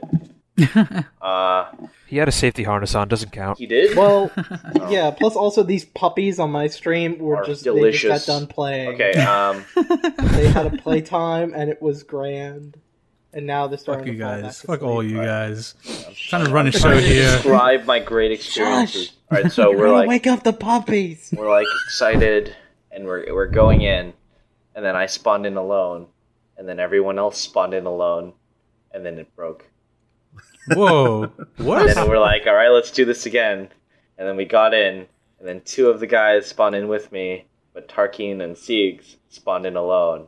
And then we're like, let's do this again. and then everyone spawned alone again. And then we tried for two hours. Holy shit. Oh my work. god. And you would think that a fucking instance dungeon for five people would at least, you know, have everyone go in into the same instance. They're in the same party, but no, no, no, you don't. So I didn't. So, so you guys were definitely in the same party, and you tr- Yep. and only one person started the initiator, right? Yep. Well, and you still No, just no, no. If couldn't you get in if, for two one- hours. if one person starts it, the whole party doesn't go in. You have to go in yourself. Yep, it doesn't. okay. Yeah, that's standard instance stuff. Maybe that's where this group actually Uh, is. yeah, because in, in structured PvP, um, only one person has to start the tournament, and all, all five Uh, people it- are. Didn't work. In a lot of MMOs, like you enter and leave like individually.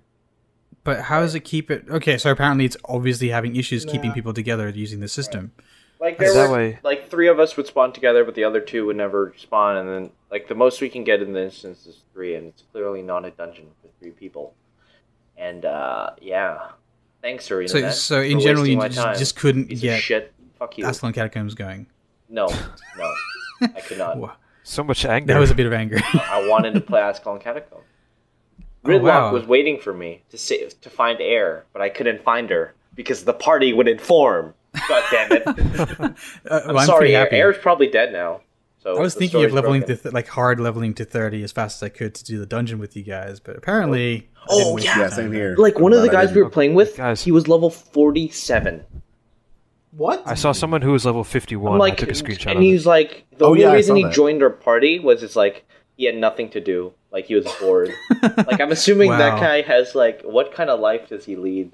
Where he Well, go to level it's kind of cool because, and we'll go into this maybe. I'm not sure if we'll go into this too deeply, but the, the cool thing about Guild Wars 2 is if you're going to a lower level area as a higher level character, for example, um, me yeah. and um, yeah, Tar- Tarkeen and uh, Subjugation helped me out once or twice by um, heading to the level eight. Char- like I was in the level eight char zone as a level twenty two human, and they helped me out because I, I was being scaled down to the area and, and hit some tough spots. So not only was the case was I was way over level for the area, but being scaled down and still experienced an interesting hard experience. But also I got full level twenty two gear as drops and level twenty two like. Uh, kind of scaled quest rewards and dynamic event rewards from doing it. So it's actually a pretty cool See, I didn't realize that was the case. Wow. Yeah. Yeah, it was weird. Yeah, actually, I experienced that uh, playing with uh, some friends who were like level three or four, and Yeah.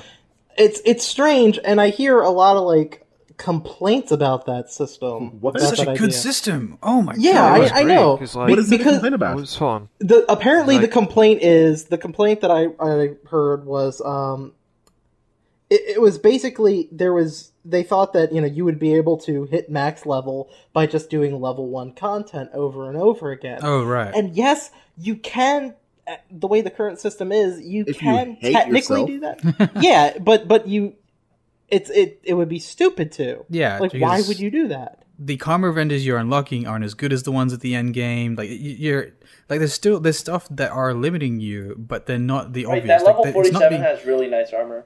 I'll say that. Well, it's the same as like you know, uh, Diablo three. You could probably hit max level going through, you know, Normal normal, over and over over and over and over again. If you really Yeah. want, you could probably do it going through Act one normal over and over and over again. If you really wanted to spend the time, yeah. like that, that th- this the- isn't that's not difference unique to this game. Is that uh, they're allowing you to play that way if you want to, because you will continue to get your level of quest rewards for the entire thing. So it's essentially coming back to the whole play the way you want to. Like I, I don't know why there's Yeah, well, and, and the people about. that are having the people that are having the issue with this, I think, are are still stuck on the the standard MMO idea of of leveling and zones, and that doesn't apply to Guild Wars two. Like, Right, yeah, yeah, you exactly. can le- level It's up to max level on quote unquote level one content, but that content is the same content regardless of what level you are. So it's not. It's not really level one content. It's still going to Yeah. be difficult for you at a high Exactly, level because you're going to be as it would scaled if you were down to low level one when doing it. Exactly. Wait, so Rawson, I think you had something to say. Uh, did you disagree with us? Do, do you have a different perspective on the matter? No, I I, I No, sorry, not Rawson. Shinboy. fine, I'm Shinboy, happy. wrong person. Oh, Yeah. No, I was just gonna say that I like the system because Okay, I, as like a level twenty-five ish Norn thief, I went to the Char starter area just to check it out, and I killed two things and got two green drops. It was weird. Yeah, exactly. Like you totally. So the thing is, right, and just to break it down, just in case anyone doesn't know what we're talking about, um, so in Guild Wars 2, there's a pretty harsh level scaling system. And harsh is, is what I mean is, um, if your level 80 is going to a level 3 zone, he's going to be scaled down to level 3. Now, it doesn't work in reverse. If a level 3 goes to level 80 zone, he doesn't get scaled up at all. Um, but you do have situations where for example, um, a person in your guild is starting out the game, so or making a new character for the first time, but he wants to play with friends. And in other MMOs, you'd have a situation where if a level 88 person, a person whose only character is level 80, doesn't want to really start a new character with a new guy, um, goes to that area, he's just going to be freaking dominating, destroying everything there, right? He's not going to be challenged by the content. He's not going to be getting drops that he likes. He's, he's just pretty much wasting time, and the only reason he's there is to play with his friend. And his friend's not having a good enough, like particularly optimal experience because he's playing with someone who's essentially destroying everything for him. He's not doing any work himself, right? Um, in this system, because a high level person can go to a low level area and get scaled down, but still get level appropriate drops, it really, really helps the community, I think, of Guild Wars 2. Like, I found that yeah. the guild was like sticking together way more and like having way too much way, way more fun together because people were not only getting like seeing new content for example if i did a human area and my friend is just starting a norn i can go there with my level 22 human and see the norn area if for example I, if you hadn't done like me and done the Norn area before, you'd be seeing that for the first time with a new friend as your original characters, and you're still getting loot and so on and so forth, and, and progressing levels. You actually get um, the XP you get from not monsters, I don't think, but from the actual uh, event rewards and stuff like that is also being scaled. Finding new areas is scaled XP as well. So in many cases, you're actually significantly benefiting from going back and helping new players. Like it's an amazing system, I think. What, does anyone have anything else to add, like Dourin? No, I mean pretty much pretty much covered it. I mean, when, we, when can... we, went and did the the Norn stuff, I mean, I being able to go in and see that story stuff at the level that uh, you know that I was at. You know, obviously way over level the area, but I was able to still go and enjoy that that stuff. Yeah, with um, with another person and yeah, exactly. Like being yeah. able to like I'm, I'm I'm thinking of you know I, am still trying to convince, convince my wife that she totally would want to play this game, and if she decides you know post launch that she wants to play it, yeah, it's not going to really be uh, that big of a deal for me to then go back and and play through her story stuff right along with her with whatever level my character is. Like we can exactly. still play together even with these level disparities. Yeah, it's it's, it's like a yeah, really happy system. Add something real quick. Go. Yeah. Um. Like one of those green drops that I got, which was what surprised me the most, was actually something significantly better than the gear I had. So I actually wow. went back, killed like a level three mob, and ended up getting a new piece of gear that I actually used. Yeah when I was like in my twenties. And, and that's not to say that the loot tables are skewed if you go back to a new area. Like you're still getting. No, no, it was just luck of the draw. It was just luck of the draw, but um, yeah, you you get fully level appropriate gear. It's amazing. It's a fantastic system, and I hope that the people complaining about it just shut the hell up. Uh, honestly, that's that's where I'm coming at this from. It's fuck you guys. No, it's awesome. you you don't understand. They're not going to be happy unless it's exactly like World of Warcraft. Oh man. But so wait, who were we talking about? So we're talking about Noob and Ascalon Catacombs. So after before going, so you, you end up never actually getting. Did did you? What was the highest level content you experienced, Noob? Like if you couldn't get into um, Ascalon, level thirty five content.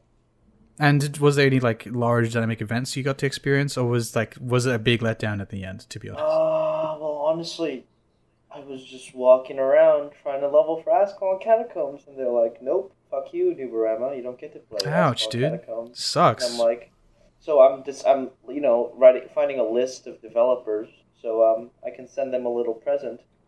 Uh, oh god! All right. So did, was was this an issue other people had? Like, did, did you check the forums and stuff to see if anyone else uh, found a hotfix or anything like that? Or I probably should have done that, but no. no uh, but yeah, well, you wait, tried there, it too. There's hours, official beta forums. Right. Yeah. Yes. I, I didn't know that there were official beta. Wait, forums. are you are you being sarcastic? No, he's being sarcastic. Okay. I well, I I know that they exist. I just never fucking use them. Yeah, oh right. Okay. Yeah. Yeah. That's that's that's fair. exactly. And, and, most people don't, to be honest. Um, um, I feel like I was gonna say something really important about. Wait, I'm trying to think. I I did I did submit them a bug report. Yeah, I, I submitted multiple bug reports. There you go. Yeah. Yeah. There you go. Um. One of the Check bugs is in the mail for you. One guys. of the bugs I submitted. Uh, let me go ahead and try to see if I can pull it up for you. Uh, here we go. Uh, I, I filed it under PVE and this is other. not interesting radio. my my subject my subject for the bug I think was it's about this. to interesting. my subject for the bug was this game is fun to play. body body is as follows. There is a game-shattering bug in place where now now where no matter what I do, Guild Wars 2 manages to be a fun and an enjoyable experience. for an MMORPG, this will obviously not do at all. this bug can be replicated routinely by playing the game, wherein I find new enjoyable things to do as I play. Clearly, something must be wrong. I believe the game is missing tedious, dumb, unfun bullshit to drag it down. and I submitted that. Aww. That's a pretty good. I really hope you get a response. yeah. I have not gotten So a response, unfortunately. That's disappointing. So we'll move on from new because it's a huge downer, man. That was a huge downer. Well, fuck I'm you, sorry. ArenaNet. Fuck you too. I hate So you Depressing too. Rawson, what'd you do during the beta? What'd you play? Yeah, dude, you're not even. Uh, you're like the most incognito person. You weren't even in our guild until, and then we just never saw you on. Because he has a second guild. Like he has like Yeah, other but people. he was plays just with. never online, for that matter. Like I was there. I He was on. online. I saw him online, Oh, but he wasn't. re- He wasn't representing us. So he had a little bar across his name. Loser. Anyway. So what'd you do? Um, well, I mostly I, I'm kind of my main thing is I just want to I want to get to know the classes, uh, Right. and So I can kind of pick which one I, I would want to play. In, So in I- a I gave PVE sense or a a shot. PvP sense? What? Like in a PVE context or a PvP context? Both, ideally. Okay. So, But, but you um, mainly played PVE, was it? Yeah, PVE and World v World. I'd, Okay. I'd say probably more PVE, but whatever. Because you went there for Um, our, our past, like la- last time we did a beta event, um, Impressions Cast, we kind of all uh, gave a general impression of what we played and how we liked the classes. So what what you what was your first class and what, what classes did you play and how, how do you like them in general? Um, well, my first class that I played to any extent was Elementalist, Okay. and this time you started I with the showstopper. play- What? you started with the showstopper. Not not really. Actually, Really? I I enjoyed playing Mesmer more. yeah. wow. Okay. So so what what do you like and not like about Elementalist, for example? Um, well, Elementalist is a very straightforward class, and that that's basically that's largely my problem with it. It's like I know what I'm gonna get from from an Elementalist. With a Mesmer, though, I have so many like random weird tricks up my sleeve. It's basically a class if you're like me and you just want to be a douchebag to people. Oh god. You ought to check out, or you said you checked out the Necromancer too, right? I I played Necromancer for a little bit. I didn't really Right. get a good feel of no, it. but Necromancer definitely has that same feel as well with some of the weapons. They fixed the Yeah. mesmer from the Mesmers have a original long Guild Wars. history of being dicks. Like What do you mean they mesmers fixed the in the- mesmer? because the hexes always made me so mad. I So remember I took my keyboard and Yo, smashed it on the diversion. floor because Ah. I was trying to do a run. So and then good. those fucking gargoyles. Playing Mesmer was wild. one of the my, my favorite experiences from the original Guild Wars because fucking with They people were the prettiest. is the mo for the class. Like it- that- it's a class about fucking someone's infuse in HA is just. Uh, God, I hate you. I hate you, Cynic. exactly exactly because it is the class for people who like to troll other players. Basically, yeah, but just troll within the context of the game. Like it's, it's No, not no. class- The best trick for trolling is like in the original Guild Wars. You'd play a Necromancer in random arena, and then use you'd use Aura of the Lich, and then kill yourself, and then kill you entirely. and they'd be like, I was going to say that the best you?" method for trolling people was probably uh, Echo Blackout. Oh my god. If anyone doesn't know how, what that means, is uh, Blackout was a skill that literally disabled everything in your character and drained you of all adrenaline, um, which is one of the like key warrior mechanics in the first Guild Wars. And you can use another skill called Echo, so you have two blackouts on your skill bar. So you just walk up to people, blackout, and then black out them again. And it was 10 seconds of complete shutdown, uh, only possible if you're playing, I think, pretty much only Well, possible. what's the point of trolling people you're fighting against? The point is to troll people on your team. So, That, that's so how Wilson, the or the Lich work. yeah, you go you go into RA as a monk, and everyone's like, "Yes, we got a monk." They don't realize you're running all smite. So, what what do you like about Mesmer? What would you play? What weapons did you use as Mesmer, Wilson? Um, for the most part, I used uh, a staff in PvP because, for the for those you don't know, uh, the staff is primarily based around uh, giving conditions Right. to to the enemy player, and which are basically the equivalent, I guess, of debuffs and and dots and things like that. Yeah. Uh, that's kind of the catch-all term Or for dots. what you do. Anyway, uh, yeah, I mostly did a, that as the in PvP, which was awesome because basically I got to fuck with people and just wear them down, and that was that was pretty much my strategy, and it right. worked beautifully. I very rarely died. Um, in PVE, I actually would start to use uh, a great sword a bit, right. which was kind of interesting. Um, unlike what you would imagine, the great sword actually is ranged. Yeah, it's such a cool thing. Yeah. Yeah, your your primary ability is literally to shoot purple lightning out of the sword. Yeah, it's pretty. It's it pretty does more cool. damage like the further you are from your target, yeah. which is pretty awesome. It's like like a longbow. It's, it's pretty amazing.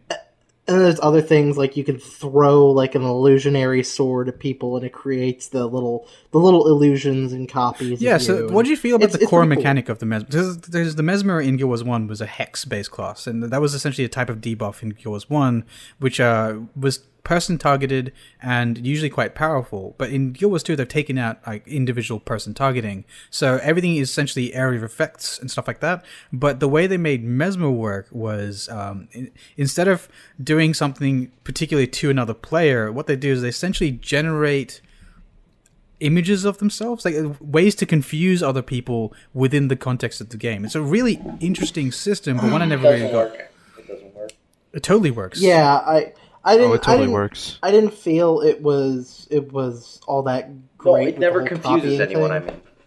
Oh, it totally worked. No, it totally what? did. Yep. No, I found myself like attacking yeah. like um, copies in like World v World in like a big fight. I would yeah. totally find myself uh, fighting. Like, uh, well, um, eventually, did, eventually, didn't they, I... didn't they not yet fix the thing where uh, the mirrors don't have the uh, icon thing above their heads. Yeah, they don't say the class. Like where, where a person normally walking around in PvP, yeah. they have their class above their head, and the so mesmer. without that, you the, you know that that's a copy. Yeah, but as Shinboy said, like in larger fights in World versus World, like you just can't keep track of everything that's going on, and frequently. Yeah, you're mostly just tab targeting at that point. Yeah, and free, frequent or just like mashing, clicking the middle of your screen and hitting your buttons. Um, well, no, again, you're not mashing. Just don't your buttons. play World versus World. You, you really do play World vs. World with skill. I'm not saying that. I'm saying targeting World vs. World can be a bit difficult because there's so many people on screen. That's what I'm saying. Anyway, you don't mash in Guild Wars 2. Don't mash. Anyway, um, no. But the mes- mesmers in Guild in large groups is a terrifying thing because like they can literally just fill your shit with chaff. And not only that but when you kill one of their their illusions frequently there's like subsequent effects. Like you can apply conditions like cripple uh, not cripple like blind stuff like that that really oh cripple is one of the conditions. Oh wow Oh yeah. god.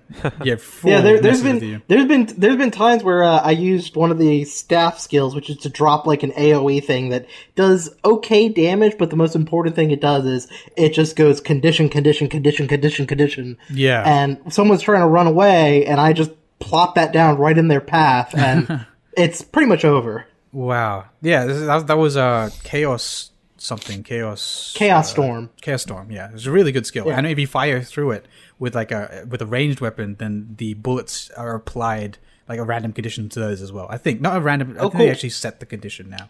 I think it applies a specific condition now, but before it was like a random condition. So you can pile on like a bajillion conditions and debuffs on people by firing through a chaos storm. But um, but yeah, aside from that, like instruction PvP, uh, I can't believe we're skipping three topics here, but it's oppressions cast, so get used to it. Um, instructions PvP. Wow, what a dick. Yeah, I know. Uh, if you try to capture a point, and I, I, was a solo warrior, like I generally played it as a solo rifle warrior. Um, surprised anyone who knows rifle warriors, but they're still pretty awesome in structured PvP. Like they've nerfed them, but they're still amazing. Um, I would walk up to a point, I'd see this massive crowd in, on my mini map of people walking my dire- direction, or if I like look around the corner, I see this huge crowd of people coming towards me. I'd freak out and leave, right? But like once or twice, it was just like a mesmer rolling with its illusions. It was like really cool to see that I was like legitimately tricked by some people playing mesmer. I, I thought I thought it was actually a pretty cool mechanic. Um, what was it, Shinboy? Did, did you play much in the way of mesmer? Uh, I played it a while ago. Like, I totally did not play it in the press beta. I don't know right. what you guys are talking about. but, but that's the only time I really played it. I messed around with it up to like level eight Okay, so not cool. very far. Right. But yeah, back to Rawson. So you didn't like. So do you say Elementalist? You'd say it was a bit too um, obvious and direct for you. Yeah, like I, I know exactly what I'm going to get from an Elementalist. Right. You probably know what you're going to get from Elementalist. Oh yeah. Uh, like with, with a mesmer, with a mesmer, there's there's a lot of there's a lot of mixing stuff up, and cool. I like that. Nice. And, and, so, you, so you generally played with the uh, great sword and stuff. Did you try the other weapons? Did you try like the uh, the sword? Oh yeah, I, I, tried. I tried all the all right. the weapons. And those are the ones that, that you generally felt were more to your style of play. Yeah, this is kind of cool because I, I found that with warrior, people tend to gravitate towards very specific weapons. Um, actually, no, that's a lie. I'm, I'm, thinking back to it because if you ask a warrior what he plays, you'd get some people say double swords, some people say double axes, some people say sword axe, some people sword and warhorn, some people great sword, some people rifle. Like you literally have a situation where Guild Wars 2 has pretty much nailed the um, the weapon balance to such an extent that people actually are finding things that suit them, like how they want to play. I've, I, how, does it, what does anyone else think about the topic? Either that, or no one has figured out which one is most OP yet. Well, yeah, that. That's oh. also probably true. Way to bring me down. Way to bring me down. Just being a realist. but yeah, at the moment at least, it's a really fun dynamic where everyone's finding stuff for them. I, know, I, I haven't seen a Necro that doesn't use the staff. That's true. I think Necro's skills in general, and we, we touched on this last uh, broadcast, but um, yeah, I, I'm just not feeling like I like Necro, not, don't get me wrong, but I mean, I, I don't, I don't think that the skill balance between weapons and between utility skills is quite there yet. I don't think they've found um, a way to make, for example, the daggers feel as awesome as the axe. If you want to play a melee uh, Necro, yeah, um, definitely. Yeah, it's just it's just things, the slight things missing in unbalance in the Necro class, in my opinion. Um, but back to Rawson. So, what do you actually play? What do you actually play this weekend?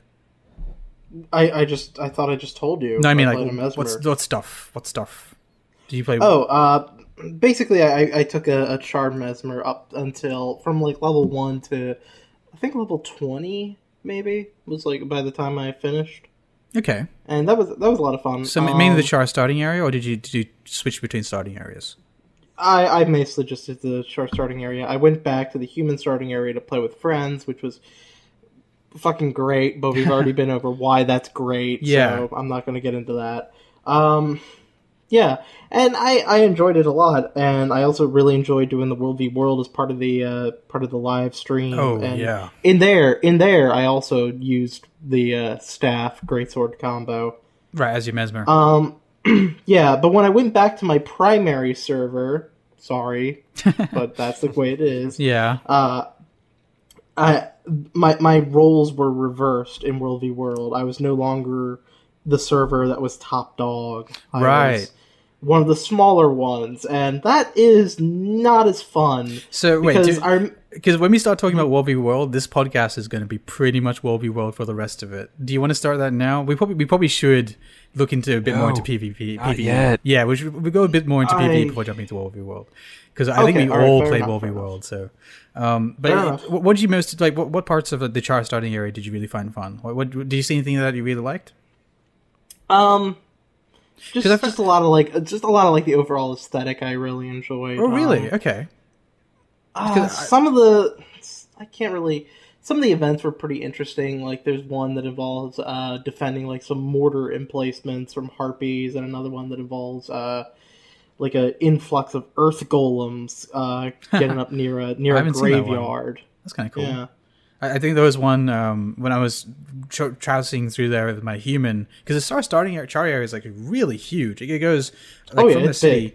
west like a good no sorry east about like a good 20 minutes walk just from the city and, to the edge of their area it's kind of nuts and and i cleared and i cleared out the uh, the ascalon wall of harpies. Oh man. It's part of it. Everything to do with ascalon in the char starting area just got my just got my veins. Oh i, I was i was essentially having the it's equivalent like, oh, of a hard on. I had the equivalent of a hard on you're the bad guys! And and I'm killing the good guys. I'm killing ghosts of the good guys.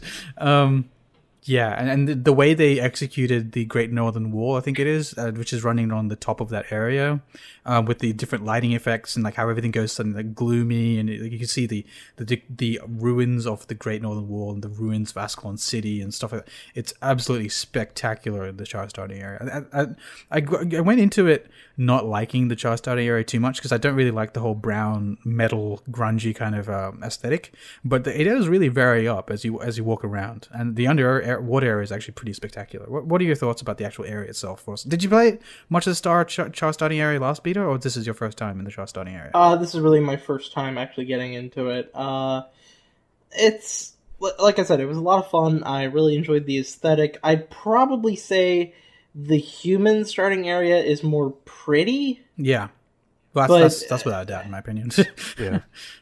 But I, I can't I can't really say whether or not I think it's like more fun. Right. now, I'll say something about the char areas. Like I hated the char starter area, really? but Okay. I loved the char second area.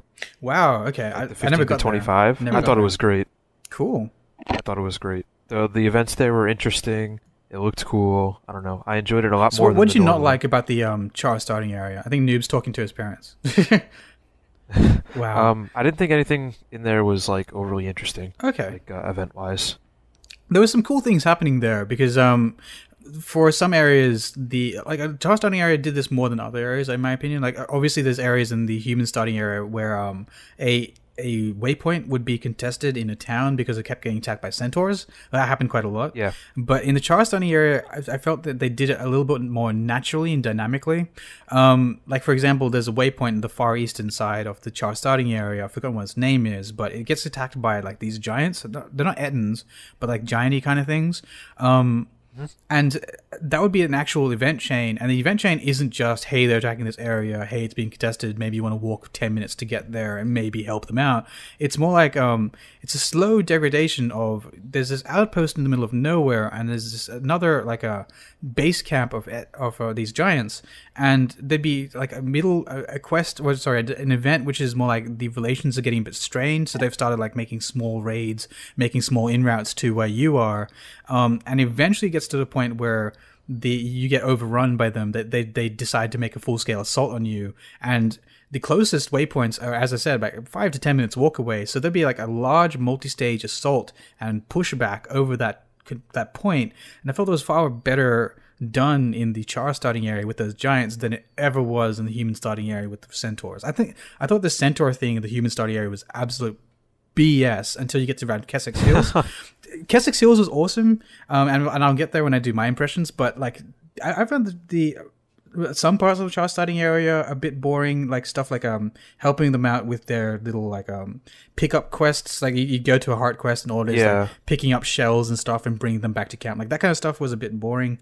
Um, Rawson, did you did you do too much in the way of the uh, renown quests in the sorry renown events in the Char starting area?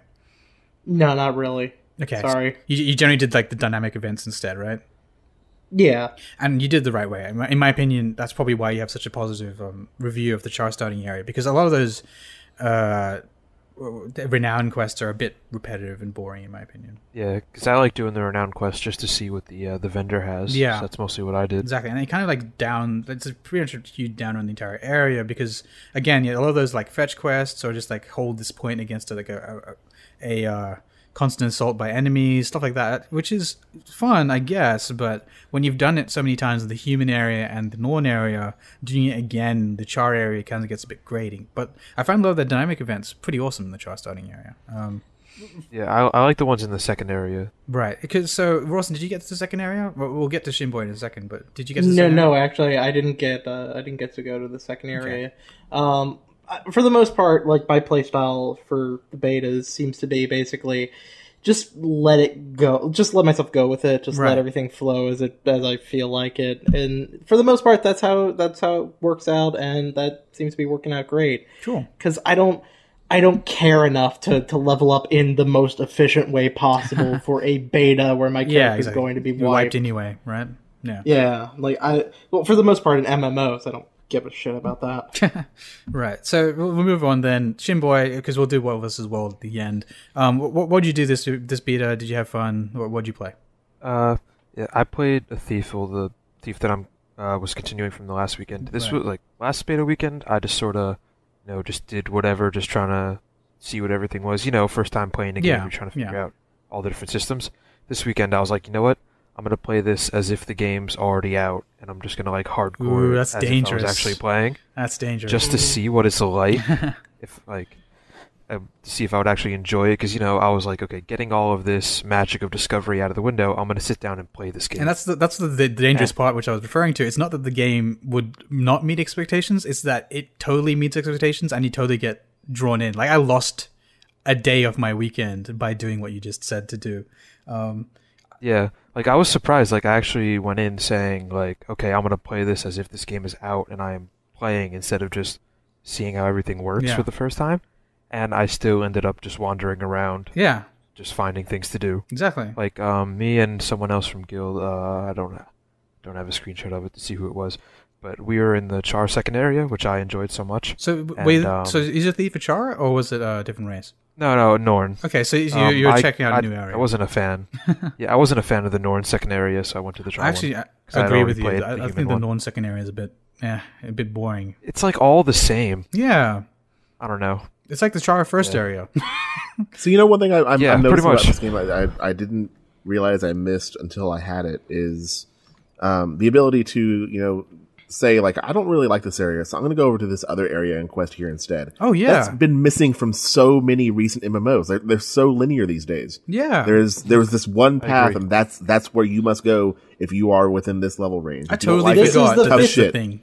I totally forgot. This that is the level 15 to level 25 planet. You will go to the level 15 Yeah. to 25 planet. You will hit I'm not calling out any names of MMOs A or anything. A quest will tell you then to go to the level 25 to 40 planet. Oh then wow. proceed to the level 25 to 40 planet. Yeah. Yeah, I, I, to- I totally there. forgot this is a thing. Kill So, yourself. in Guild Wars 2, right? um, so you start in your normal starting area for your class and your race. Sorry. So you start in Norn. You're in the Norn starting area. You generally stick to that for a couple of levels, um, just to like uh, to familiarize familiarize yourself with the game. But then you realize that if you hit the map button, there's a uh, outpost called Lion's Arch. I'm not sure if this will be available in the, when the actual game comes out. I, I don't know if this is the case, but if you go to Hoelbrak or any major starting city, there's a Asura teleporter there that takes you to Lion's Arch. And when you get there, you can actually use another teleporter because there's a, a circle of teleporters right next to each other in, in the city to get to any of the other starting areas. I imagine that will be in the game because that, that's really the only way to so. get to those other zones. Yeah. No, you can straight up walk to them. Well, I mean, you can, yeah, but I'm area thinking to a Char like, area. if you are wanting to go from second area of human to the second area of the Norn, that's the only realistic way to do it is to use those portals. You're not really yeah, ones that aren't linked by landmass. Yeah. Um, because between human and Norn, you have all the Lion's Arch area from memory, I think. I think? Well, and not just that, but I'm thinking like you know having to go through zones that are clearly above your level in order to get there. Yeah. So this makes this makes it much easier, and I imagine So I hope they leave it in the that game. that. Uh, bringing it back to it, like it's amazing because you can straight up go, as they said, um, "Hey, I've I've done a couple of levels for this area. Let's have a look at what the other starting areas are," and just hit Lion's Arch, teleport to the next major city, and straight up quest as if you would normally, and do dynamic events and all other stuff. Like it's it's a really cool concept, and I didn't even realize when doing it because it felt so natural. This is pretty new to MMOs. Like for, for example, Rawson, what, what's your experience from? I think you were pulling examples from Star Wars, was it? Oh, uh, yeah, specifically Star Wars, the whole planet thing. But you though I, I never bought Star Wars: The Old Republic, I played the beta. I thought it was fucking garbage. But enough of that. um, it was. It was fucking garbage. All right. Uh, I agree. But, I did the same thing. but uh, you know, I, I've also I also played Aion, and that was also fucking garbage. that game's awesome. No, I'm sorry, it wasn't. Um, but it, it did the similar thing with the whole like you know here is your one zone. This is where you get to go. Yeah, right. And if you And- and I can you want confirm- to do anything, yeah, and I if can you want to confirm, do anything else, fuck off. and I can confirm as somebody who pretty much buys every major MMO that releases, they're all that way. wow. Okay. The last game, that, Yeah. the last MMO that I played, where you actually had real choice of which zone you wanted to play in, um, was probably WoW. Oh Yeah. wow. Okay. That's the, that's the saddest thing. Yeah, Wait. So so does WoW have a similar? or I, I'm- hate to, to do this because I, I again I appear to be the MMO noob here, but uh, I only played a couple hours of WoW, and I was just the starting area. I think it in, was. in, in WoW, it's it's it's kind of similar to that, where like if you are say playing as like a, a night elf, there is kind of a a, a, a path that that quest takes you through. Right. Um, but those zones don't really come into um, the other ones for quite a while. Same as if you're playing as a human, you're going to be starting off in Elwynn Forest and moving out from there to Westfall and moving from there so, and so forth. but like if I was playing as say a um, dwarf and the dwarf starting area is fucking terrible, I could just go and run. And granted, it's harder. There, there, there aren't the portals that there are in, in Guild Wars 2. Oh right, okay. Um, but I could, I could run myself to one of the other starting zones and, and go fight there instead. If I, if I so, really how do to. you feel about the easiness and like how it works in Guild Wars 2 to get between starting areas, Dourin?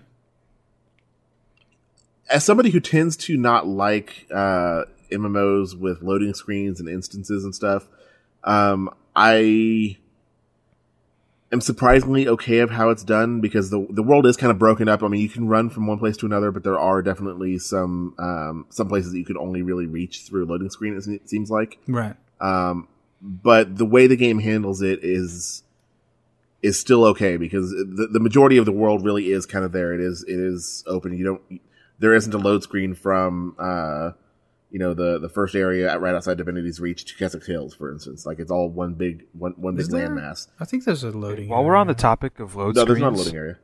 while we're on the topic of load screens, am I the only one that's really upset they took the progress bar out of the loading screen? Yes. No, no, sorry. You're not the only One one of those who's circles. excited yeah, of that. I agree. Oh, It doesn't tell me how long it's been loading. It's fucking circle Exactly. going round and round. Yeah, it's just a circle going around and around and just sitting there. This is that- just wait, another was I fuck only you who from experienced it, ArenaNet. uh, loading area, loading zones being longer this time through. I felt Yes, like they were. yeah, the game Uh, was they also said on Twitter that people were uh, hanging on loading screens a lot. Yeah, because the, the Oh, game okay. ran better, but I found that I loaded areas for longer. Those could be directly correlating, like they could just be Could putting be, more yeah. in RAM or whatever it is. But uh, yeah, it's weird. But yes, aside from that, the loading screens are pretty, and we'll get back to the point here. Wow, you can get between starting areas from any uh, really easily as, as any uh, uh, character. You can experience all the starting areas and have fun because of that level scaling thing. You'll still be leveling up. You'll still be getting XP and loot for your character and appropriate to your current actual level. But you can be experiencing lower level content being scaled down. It- It's it's a pretty amazing system and one that pretty much it reinforces, as I said earlier, that you can choose how you want to play. So back to Not just not just starter areas, like all level ranges. exactly, yeah. Like I was Yeah. like, I found I finally found a screenshot of it. I'm level 22 in the char, like 20, like 15 to 25 area Right. as a Norn. So it doesn't apply to just starter areas. Cool. Yeah, exactly. Any starter, any area of the game, Yeah. Um, you can. I'm pretty sure I found an instance here. That's what the screenshot is. Because me and someone else, like, we went up to this. There's like um in the char uh, 15 to 25 area. I don't remember where it was exactly on the map, but it's near like a river. Looks like north. right. Um, but there's like a giant pool with like a ramp going around each side to the far side of the pool, where there's like a jet going into the pool, and like this big sculpture with a whole bunch of horns. there's a gate with an NPC in front of it. oh, cool. And it, they wouldn't let us inside, so I think that might Another be like a level 20 instance. Yeah, a dungeon. Yeah, we, I think we found a couple. I think there was a level- level forty dungeon. Uh, well, I'm, the only reason I'm saying that is because because it was a little in level fifteen area. Um, I'm talking about just outside Divinity's Reach. There's a um near Beetletun. There, or maybe in Yes, Beetletun. in the town there. Yeah, there's a town there, and there's an NPC in front of a, a teleporter to a dungeon, like what's clearly going to be a dungeon. But she's level 40, so it might actually be a level 40 dungeon. There's quite a few like oh yeah. blocked off areas because I of found a level 71. Wow. Like in the last beta. Okay, cool. It was in the I think it was in the Norn, uh, 15 to 25 area in the top right corner. Yeah, Um, which I guess would be northeast. There's like a little tunnel system. right. If you make it to the back, there's like two level 70 NPCs there. Whoa, okay. Portal. Yeah, because well, t- to break it down for you, because um, we just discussed how easy it is to get between places in Guild Wars Two, um, but the thing is, the teleporters in um, Lion's Arch and how you, the, the main way to get between starter areas and general like areas in Guild Wars Two, um, it takes you to the, the main city of the place you're going. So again, if I if I'm a uh, level 22 human and I want to check out the star starting area, I go to, to Divinity's Reach, which is my home city. I take the teleporter to Lion's Arch, um, and then I take the Lion's Arch teleporter to Hoelbrak, and Hoelbrak is the Norn star starting city, or in the case of the Char, uh, I take it to the Black Citadel, which is the Char starting city. Um, so the reason that I, I think that these dungeons are in very low level areas, so for example, level 25 areas for the level 70 dungeon, and a level 40 area, 15 area for the level 40 dungeon I found in De- Beetletun, the reason for that is they don't want you to have to trek large distances to play with your friends. They want you to be able That's a good point. Yeah. I didn't even think of that. Exactly. So they want you to be able to, like, for example, if you're a level 80 character, but you've never been to Beetletun before, they want you to be able to go to, to Divinity's Reach and maybe a, like a 20 to, to 30 minute trek maximum to get to the next dungeon that you might want to play with your friends. It's kind of cool. I, I like the idea, but it is kind of jarring seeing a level 70 NPC and going, oh, okay, this is going to be something that's maybe for later. yeah. But so so yeah, Yeah, it back to back, back to your story. So what do you um how do you like the level 25 area? What what was it like? What was it about? What did you do there? Um, there was the main the main thing. There's like a mill in the center. This is where I spent most of my time. Right. Um, and there's like uh, Skelk all around it, and one of the the events there is to like try and train them and to like uh, kill off the ones like um, you know trying to attack the ones that you're trying to train. okay. And then inside the mill, you have to like collect wood for the mill, and, and you know obviously kill off wild creatures and like set traps and all of this other nonsense Oh right. and then um, I think it was what is it the um, the Flame Legion. They can actually attack the mill, Okay. Cool. and that's actually really it's actually really difficult. All right. Like as a, Wait, it's so probably the most difficult. Was this a, a renowned event. area, or was this like just dynamic events that were popping Um, off? The the Flame Legion attacking was um, dynamic, and I believe training the Skelk was dynamic. Oh, cool. No, that's so Yeah, yeah. So you found um, um, how many people were you yeah. rolling with? Just the other Link Enforcer, or Um, um, I was with one Lincoln Forcer for a while, but a lot of the times there was like no one around. I don't know why. Maybe just people didn't like that area. Well, I I was think it was, just, crazy it was like um, did. a case of a lot of people were just like play being content tourists this weekend. Like for me, I was level twenty two human Yeah. level like starting area for Char. I, thi- I don't think many people did what I did later and went um, mainlined a single uh, races area, for example, and continue through their like um, higher level areas. So I don't think many people even got to, for example, Kessex Hills for humans or this area for the Char. Like I, I just think it's Yeah, I think it's called Diessa Plateau. I got believe is the name. everywhere. yeah. Got my dirty hands Then- everywhere. Well, did you like Norn is DSR what, uh, Plateau Drifts? Noob? Did did you spend much time there? Yeah, I sp- that's where the underwater dungeon was. Uh, Oh, cool. Top yeah, right. I, I ran across the entrance to that. I didn't go in. Right. And so did okay. So we we finished already gone through. So did you find that um, if you had to choose between the level twenty five areas that you experienced new, which ones would you say that you enjoy the most? Um, honestly, I preferred well twenty five area. What's the the human twenty five area? Uh, The Kessex Hills. Flame? Is Oh, Kessex Kessex Hills? Uh, that's actually a really good question. Yeah. Both of them are really good, but I'd probably because I didn't run across like a dungeon kind of thing in Kessex Hills, so I'd probably go with the Char one. Cool. Discipline. Yeah, that's that's good to hear because I really enjoyed Kessex Hills. Um, Yeah. that, which is the human one. Uh, to, just to round out Shinboy, like, was there anything else you want of particular note that Actually, you want to? but while the thing had the dungeon, um, Kessex Hills probably had better events, like dynamic events and uh, yeah, there's a specific one I want to talk Yeah, about. I'll, I'll agree with that. Um, but yeah, Um, anything of note, Shinboy? Um, no, I did. I did not like the Norn 15 to 25. I agree. Was the Snowden drifts. I agree. like there's, especially the one underwater. Um, Wait, so wait, I might be Quest. think- remembering this wrong. Is this the one that's the egg, the entrance to it is at the very north of um that hi- that hilly area right next to the dome of the Svanir? Like you go right, there's like a there's uh, Dolyaks. Yes. Yeah. Oh no no no no no no! That takes you to different area. This is on the other side. Oh, okay. I've never been to this place. Okay, then I don't know. I have no idea about this It's, place. it's called it's called Snowden Drifts. When you first walk in, if you're walking in from the east, you walk in. There's a little town with a trade broker or whatever. Okay. With a um a trading post. Um. And yeah, I didn't. I don't know. I didn't like it. A lot of the scenery looked the same. All right. Not like the Char area where there was a lot of different things going on. Yeah. and um, a lot of it was just I don't know this.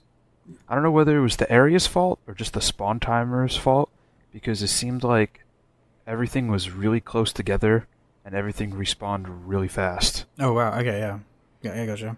So you would so, So, you it would try didn't and seem pull like, like, very one, balanced an area and not fleshed out, right? Uh, yeah, because I mean there is some interesting stuff. Like there's a cool little town in like one of the corners. That there's some interesting events going on there, but other than that, uh, there really wasn't much going on there that I liked. Especially the underwater part was terrible. Wait, what? What did you not like about it? What was it just like a? uh, it was, I think it, I think this was the area. Um, there was a renowned quest there that was obviously like meant to be done by multiple people, Right. and there were not multiple people doing it. Oh, okay, yeah, I, I got it. I gotcha. So, But I feel like for the renowned quests, you should be able to do them by yourself without much issue. uh, I'd actually there's some renowned quests that actually let me let me think. Renowned quests. No, you're right. Renowned quests are generally stuff that you should be able to do by yourself, even if no one else is around. Dynamic events, some of them I I actually think really benefited from being harder and required multiple people being Oh, there. yeah, I agree with that. Um, but I'm not. yeah, no, you, you're probably know. right. I, I'd say most dynamic events, I'm sorry, ren- renowned quests, you should be able to do by yourself. Uh, Just thinking back to the ones I did over the weekend, because most of them are like collect stuff or um, kill a certain amount of enemies or uh, help around, help out this area by like uh, moving tools around or stuff like that. So, so maybe. And the way the way that area worked, there was also like a um, 'cause there was the was it the Qui Gon the something the underwater people? they're Dobu. Yeah. Um, The Qui Gon Uh, Jinn. yeah, the Qui Gon Jinns, um, the Liam Neesons. Anyway, there was uh, I, I didn't even know why I laughed at that. That wasn't funny at all. Go on. uh, the game had a bad habit of starting this really really difficult dynamic event right in the area where you needed to do the renowned oh, right, gotcha. Yeah. So it really became impossible. So I just ignored that. I was like level 28, and it's like a level 20 quest, and I just didn't even bother. Ouch. So and then uh, so if you were to split up your time in percentages, how much of your time did you did you spend in PvP versus PvE this weekend? Uh, structured PvP, I barely touched it. Right. I just went in and screwed with builds. Yeah. Um, uh, World v World, maybe like 15 to 20 percent, and the rest was Okay. all. Well, actually, not all PVE because I did do a lot of crafting, right. Gotcha. but we already touched that. yeah, we did. So But so I would say a little over half. I guess I'll move on, and, and, and I know that you know I'm going to do this. I guess we'll move on to structured PvP, and, and we'll eventually move on to what I did this Uh. weekend. Um, so structured PvP, guys, That's a thing. that's a thing. Is it? Yeah. And so sad. It uh, is. Like, okay, so I, w- I think I said this last week on the podcast. I don't think it's as bad Is as it a thing that people is. will actually care about? Okay, so I'll care uh, about let- it. let's let's put this down the table. Um, we'll transition from what Jimbo did to what I did, and I'll, I'll lay it out for you guys. So, in my, in my beta weekend two weeks ago, I was like, okay, this beta, I'm not going to play any PVE. I'm going to spend all my time on PvP. So I'm only going to do World versus World and Structured, and I'm going to try to get a whole day of Structured in, so I can definitely lay out my feelings about it. Those are, those are those are my thoughts going into the weekend. All right. Um, so it ended up pretty well. Like so, for all of Friday, pretty much, and all of Saturday, we did World versus World, which I expected myself to do. Like I knew I'd do that anyway, right? I, I love World vs. World. I spent most of the time there, and we'll talk about that later. But for Sunday, I started off the day. I woke up in the morning, had breakfast. I got on on, on Guild Chat, and a couple people were there who were between events at the moment. I said, "Hey, let's let's get a group together and let's start some structured PvP." Uh, let's, let's get this going. I said I'd do this. Let's do it. Uh, let's do it. But the best way we can do it, which is to make a group and to have fun together as a guild, rather than trying out like I'm um, going in by myself and maybe not having a perfect experience like I did last weekend. Right. So we get in there. It takes about about what 20 minutes for us to get together, which is fine. Nubarama was there, I was there, and a couple guys from the guild, Robbie Mack and uh, a couple couple of others. Um, sorry if I didn't name you. Uh, but so we get in, and there's only there's two NPCs in the mist. So to get to lay it down for you, just in case anyone out there, out there still doesn't know how it works. Um, you can go into the PvP areas from any level. So as soon as you start the game, after you finish the first uh, dynamic event, so the first story point, from then onwards you're set free. You can um, visit the world, the world versus world areas, or the structured PvP areas by um, entering this middle land called the Mists, which um, scales you up to level 80, changes your gear out to um, level 80 gear, and changes your skills out to like some presets, which but you can change it and customize it however you want. So to get to the structured PvP area, all you have to do is make a new character, do that first level of quest, and then go there. So that's what we did. I went there with my Mesmer at first, but then ended up switching over to my Warrior for the actual event because I was more comfortable comfortable with that. Um, Robert Mack showed up, Nubarama showed up with his Guardian. Everyone got together and we started. Okay, so in this area called, called the Mists, and there's two NPCs there. One of them is a tournament person, and essentially what you do is one person in your party walks up to him, he initiates the tournament system, and what that does is it, it prompts that person to elect who in his party would be joining him in the tournament. And so he elects the people, everyone in the party is given a prompt, and they can join essentially a tournament group, and you can start a tournament. Um, tournaments are automated, so once enough people have uh, elected to start the tournament, it'll initiate, it'll immediately bamf everyone into the tournament instance, and you can start playing structured PvP. So, were you there with us, Shinboy, for that when we did that tournament thing? Uh, no. Okay. I wasn't. So we get in, right? We talk to that NPC, we start a group, and we, are sitting there. I'm going around checking my skills, checking my um, equipment and stuff. Those guys are pretty happy with what they were rolling with. I'm not sure if actually end up with them being very optimal for the situation. Obviously, it was one of our first times in, in structured PvP, so everyone was still experimenting. So the first tournament we eventually get into it took about 10 to 20 minutes to wait for it, which is in itself an issue. But um, the first tournament we get into, we we immediately get stomped. Like we get absolutely dominated. I think it was like 500. Maybe shouldn't to- have been so bad. Maybe that's why you don't like structured PvP because you're bad at it. well, partially that's true, right? Like partially you're right in that obviously if we'd done better that first time around in the tournament system, we would have had a better time of it. We would have given it more of a chance and later on. But straight up, we jumped in. We thought that a bunch of people would be doing tournaments. That's not right. Not many people were doing tournaments in general. It took us a long waiting time. We got into a tournament. We got dominated by the only people, other people doing tournaments at the time. It wasn't a great experience. And I'll, and I'll give you that. I'll say that we weren't prepared for it. We didn't really know what we were getting into. The tournament system works because it did eventually put us all there. Did match us up against other players. It did start a tournament off, but it wasn't fun. It, it wasn't a situation where I would say I think we had this discussion in the forums. I'd say it didn't have a good barrier to entry because my major problem with structured PvP and what I'm trans- slowly transitioning into is um, it works in that all the mechanics are there. The capture point system works. I, I, I will talk about whether we like it or not maybe later we might touch on that. I'm not sure. We've done it before. Uh, we touched on that on the PvP episode. Yeah, exactly. We, we've all said what we thought about that. But um, the main thing is like everyone has their fully level characters and various degrees of familiarity with that character. So that, that works mechanically. Um, the totem system, as said, works. The the catch-up system itself, um, capturing points and all that stuff feels very good. Feels balanced. Um, everyone getting to everyone moving around the map felt ba- balanced and the timings for everything so the countdown time and all that stuff to get into it is balanced. So all, mechanically it's all there right?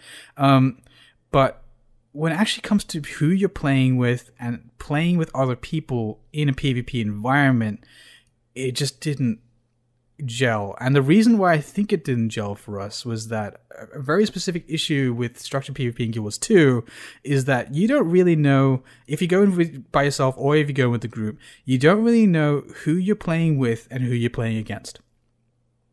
So what I mean by that is when you're playing structured PvP in, for example, a first-person shooter, um, you'd be going in and in Call of Duty, you'd see ranks next to their name. You'd have a general idea of who, how everyone's going, who, what what level of um, experience each person has had. Like something as simple as that can give you an indication of a who you're playing with and in, on the opposition side who you're playing against. So our main problem with jumping into structured PvP in that first time as a group was that we were matched up against people who'd played significantly more than us. Like the main problem wasn't that we were bad at the game, in my opinion. It was it was that we straight up the only people playing at the time was that really hardcore group, and the reason we were raped as hard as we were and were surprised by the fact was we didn't really know going into it that they were the only people playing. Like it didn't give us a good indication of who who else was entering the tournament. It didn't give us a good indication uh, indication when entering the tournament, like who they were and how long they'd be playing and how many tournament points, for example, they've had, or how long they've been playing structured PvP, what their average valor was, for example. Um, none of that was really transmitted to us. So when we got into the second point was after we got dominated by that, we didn't give up on the spot. We said, hey let's try out some normal structured PvP ourselves, some non tournament stuff to see how that goes. So bear with me. I know I'm switching between topics quite often, but stick with me. All right. So we finished that tournament. We walk out, we feeling dejected, we got absolutely annihilated. We didn't even wait for the second and third rounds, we just kind of quit. Okay? So we get out, we go, hey, let's try some normal structured PvP together. So we're still in the team. We walk over to the other NPC in the, in the mist. So there's two NPCs, one's for tournaments, one for actual normal pickup games. And again, I, I'm with a situation where things just feel a bit off. So you walk up to him, and how it works is when you want to join random structured PvP, you have two options. You either go to your um, character sheet and hit uh, play now, which is essentially a random match, and you, you teleport into a match and you just play whoever's there and you exit whenever you want to exit. Or you can go up to this NPC, and what he does is he presents you a straight up first person shooter style server list. Server browser, yeah, that's great. I don't agree. Because literally, it's just like uh, get like a list of games, and then you go sixteen of sixteen people play, play players playing, and so on and so forth. Zero out of sixteen, so on and so forth. And you just double click the one you want to go to, and you enter. Well, what, what do you feel about that system, um, Shinboy? Do, do you like it? I don't know. I kind of I kind of like the server browser. I'm partial to server browsers. uh, so I, screw your matchmaking. Yeah, exactly. I, I felt. Well, we'll get to that. Screw we'll your get to that. I need a server browser. Oh my god! So when presented with a server browser, I expect a couple of pieces of information beyond what they give you. So all, all they really give you there is um, how many people are currently in that match. What they don't give you is again returning to my main topic. They don't give you what the peop- who the people are. They don't tell you whether they're in guilds. They don't tell you like whether they're playing together as a Well, I guild. mean, it was the same way in the first game. Well, right. Like, the problem the problem with the the problem with doing that is that basically that would allow people who are really good at the game and enjoy trolling people to go in and just destroy people who are clearly not as good at the game as they are, or maybe not as, as well geared or things like that. Yeah. you have to have the an- anonymity in there for it to make sense. Well, that, that's that's true, but also if you're in my in my because okay, the server browser system works if you don't have that situation happening. It works if uh, you have a bunch of people who just want to play together. It doesn't really matter what server you join, but you um, ki- kind of just get just want to jump in, and have fun, right?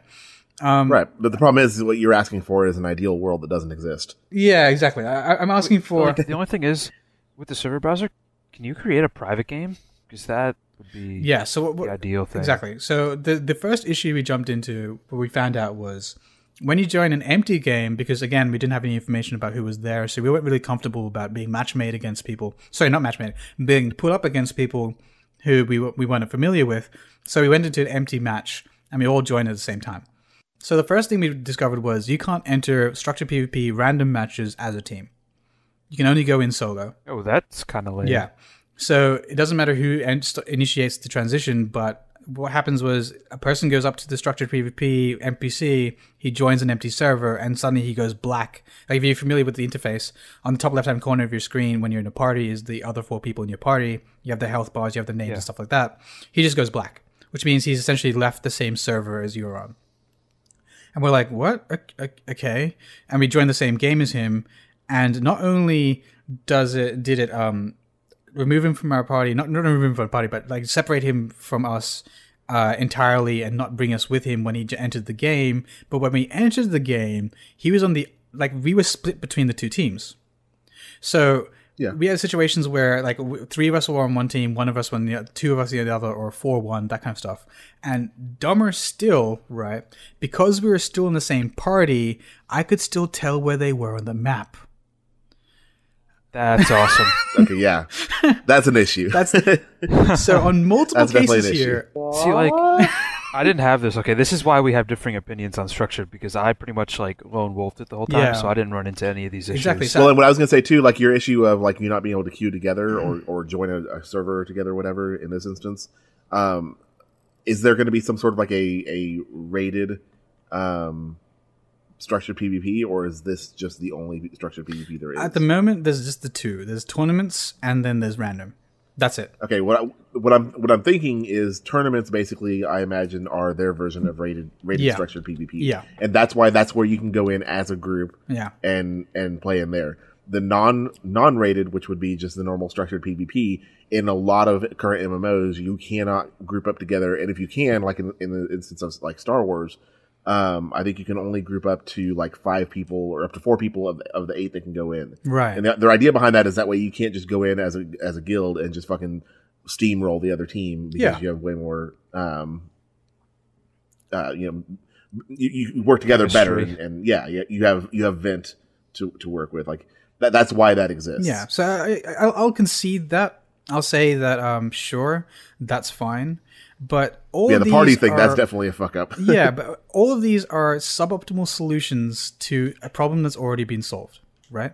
Um, so what, what I'm breaking it down to, and what I'm trying to get to in terms of my point, is that none of this, none of the issues I experienced all day with structured PvP, which I had, and I have to say that we, we stuck with it.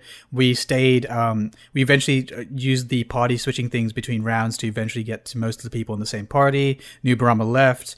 Um, we stuck with it for a couple, like about maybe an hour or two, and played against some random teams as a as a guild team. We went freaking I only left because We're you guys were okay. terrible. I want to be brought down by you Let's not get into that. Let's not get into that. I told them they were bad. Oh god. Never Um, playing with you guys again. You guys are terrible. You are so bad at structured God. PvP. Anyway, so Yo, noob, we're forming a pro team, okay? it's because you And, didn't- and, it's and you people are giving me shit for not playing with you. so all of these problems would be solved if they just had teamed, um, match made PvP. Team arenas? Like what team you're saying arenas. is Skirmish. what you're, they removed that from the first Right. game. What the hell? well, what you're saying is basically the tournaments then right no. I, I'm speaking of first game that had matchmaking in HA. general. So fun. in structured PvP, currently, like we just showed- showed you the, the di- dichotomy between the systems. So you have one which is essentially a server list, which you jump into a random server and pit against random people. Another which is the tournament system. The both things could be formed into one thing if they just made it fully um, match made. Right, so if you're jumping in with a team of people, you'll be match made against people who are also jumping with a team of people, or a group of people who've been with together with each other for a couple of rounds, who've demonstrated some prowess. You'd be match made against them, or if you're jumping in alone, you wouldn't have situations. What? Yeah, you, I was laughing at that too inside. Prowess. what? Is it, it's, it's a fancy word, is it? Prowess. It's prowess. Some Anyway. At prowess. least in the good old US of A, yeah, it's I- I prowess. prowess. Um, No so one says prowess. Anyway, you wouldn't have situations where Apologize. a person who hasn't been playing the game for long right there. is match made against people who've been playing for a long time.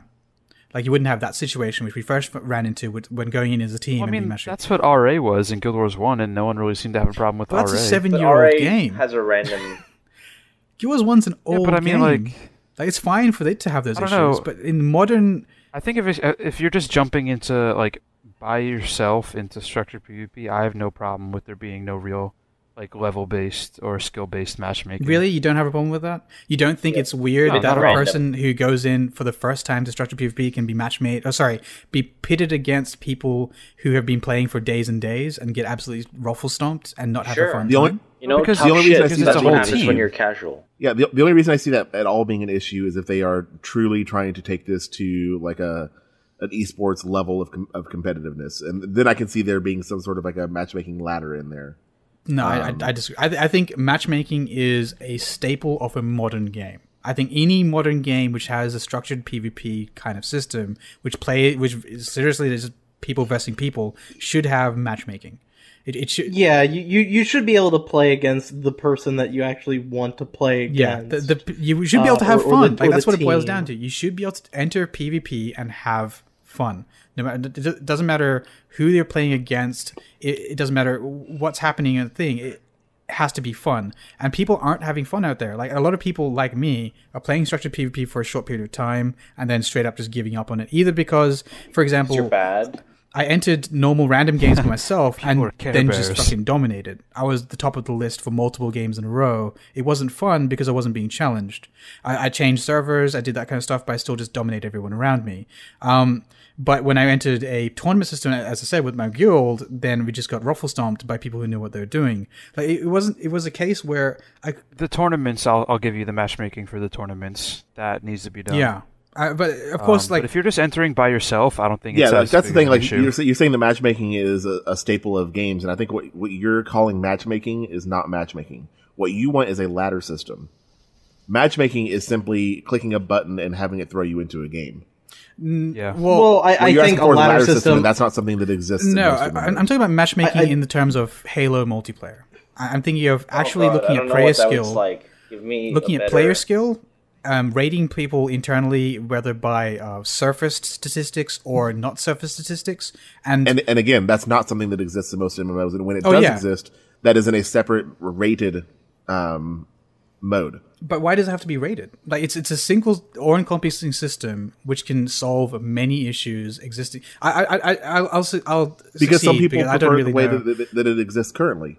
Some people prefer either just basic matchmaking or however, however they're doing the system. Some people pre- prefer it to be kind of the, you know, matched up against whoever, or they don't care. Yeah, they don't about care. rating, I- they I don't think care I don't think it's- it's a matter of preference. This, and then there are people that do care, and that's what the rated versions Yeah, you are have two generally for. this is stupid. So it's Uh, why why are MMOs still like this? What why is this? How how is how have shooters solved the problem? Not not really solved it, but have progressed along the line towards solving it. And MMOs are still in this case where people don't really know that there's a better solution out there to PvP. Wait, what do you what do you well, want? because because because MMOs have been fucking inbreeding for the past over a goddamn decade, and they've stagnated to the point where even even the one that shooters comes out, haven't. yeah, shooters Hey, really shooters have good they have evolved.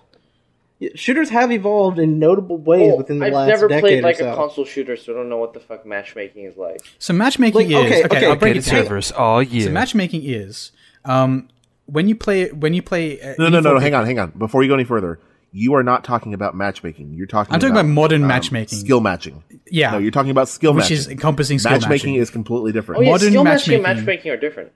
Yeah, matchmaking is simply you Finding pressing a the button game, that you want to go and play, and it throws you into a game. That's a random. matching. That's a So- randomized player pairing system. That is not That is modern. called matchmaking. That is not modern That's- matchmaking.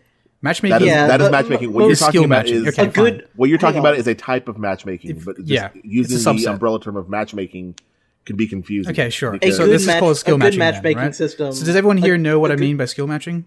Mm, maybe. yes.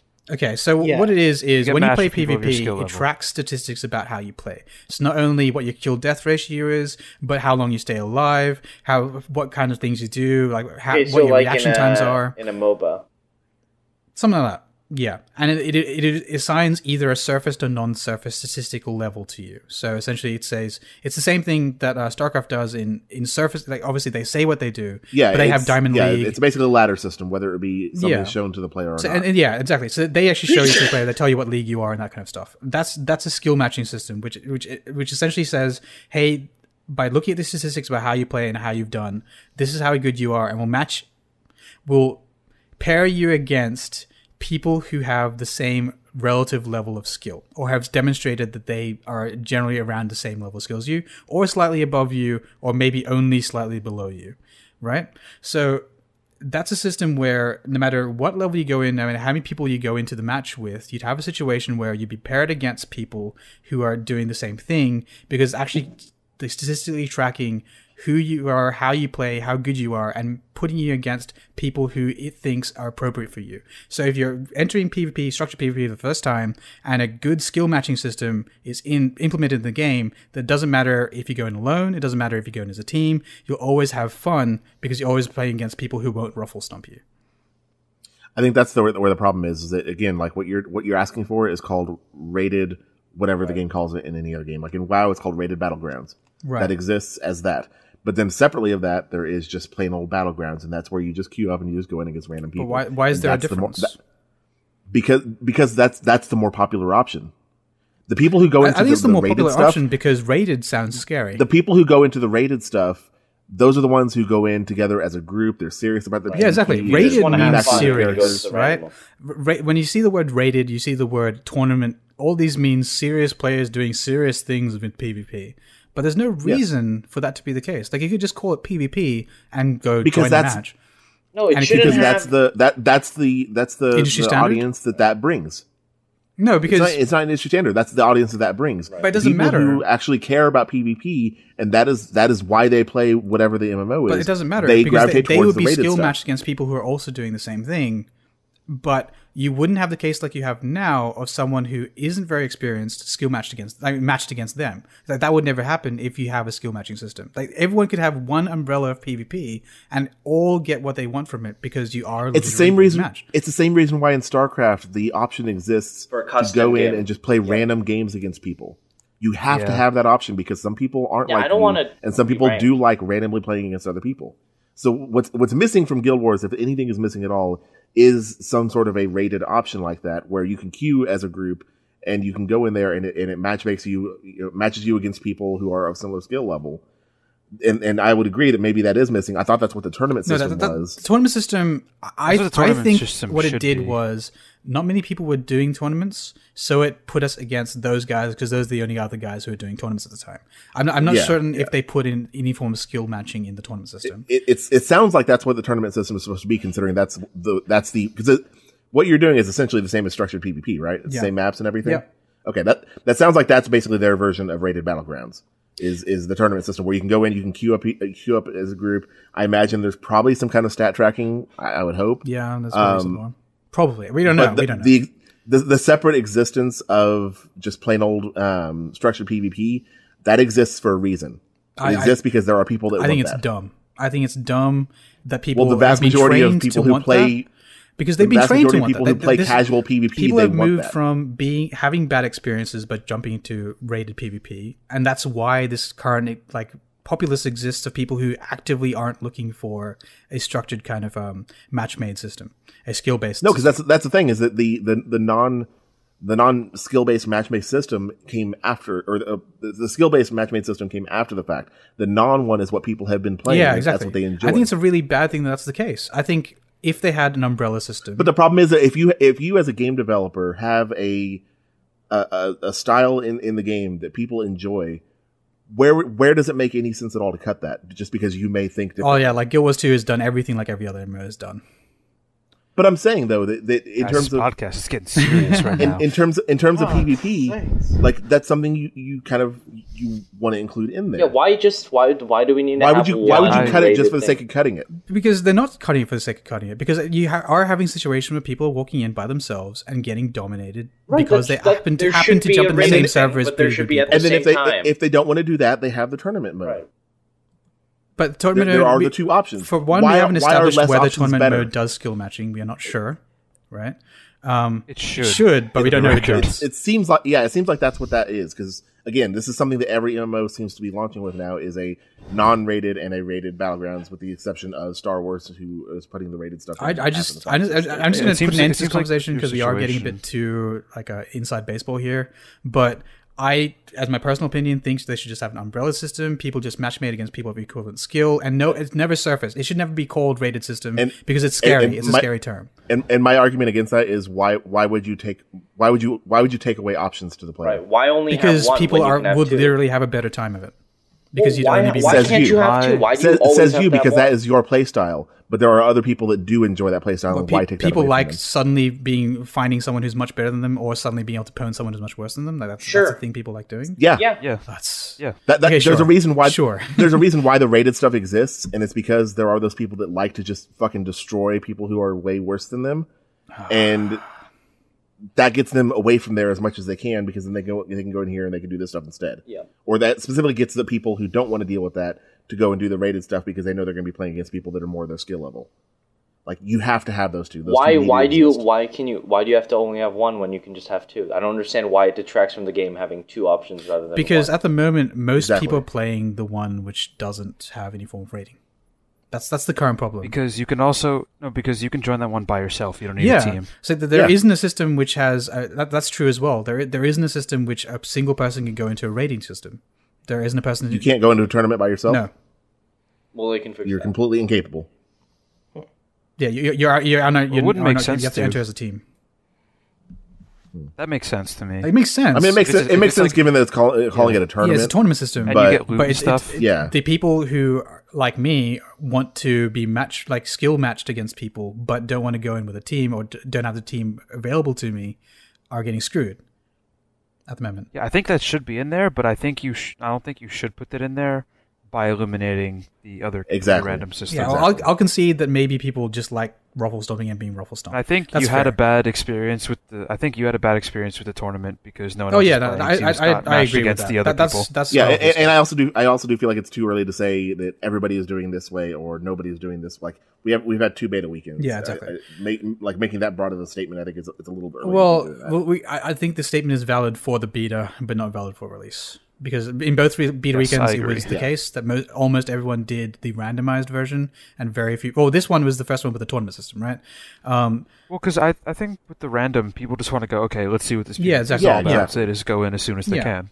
And, and a lot of people are still are still bad at their characters. They still don't understand really the, the intricacies of them. Yeah. like let, let's let's let's revisit this maybe a exactly, few months and, after and that's my launches and stance see how after the second beta weekend. Even though I gave it a, an honest to goodness shot to, of liking P- structured PvP, my stance at the end I of it the is, actual, fuck like- that noise until until either something's fixed or the game's released and I have a better idea of how it's going to go down. Fuck it, I'm not going to get. I'm not going to touch it again. It's not for me.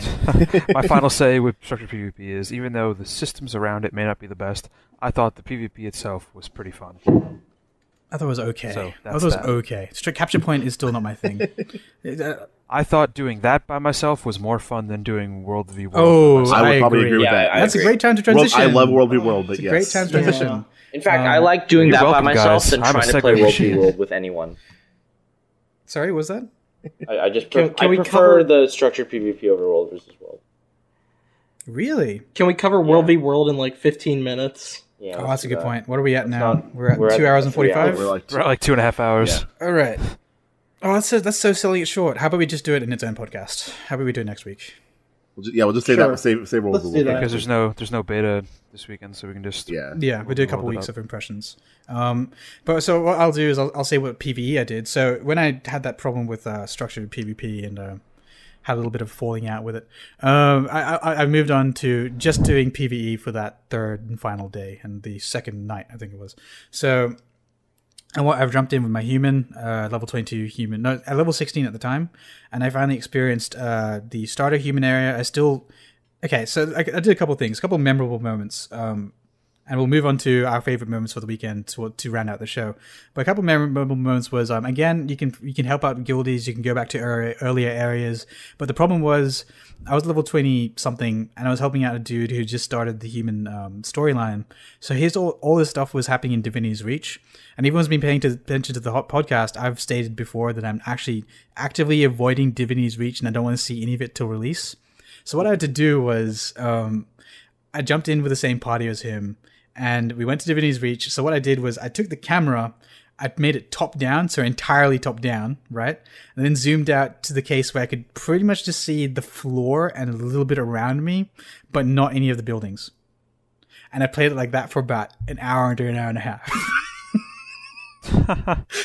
so I can say that Divinity Reach has amazing floors, and I can say that um, the human starting experience is pretty cool in Divinity's Reach from what I saw of his cutscenes, what I allowed myself to see for his cutscenes.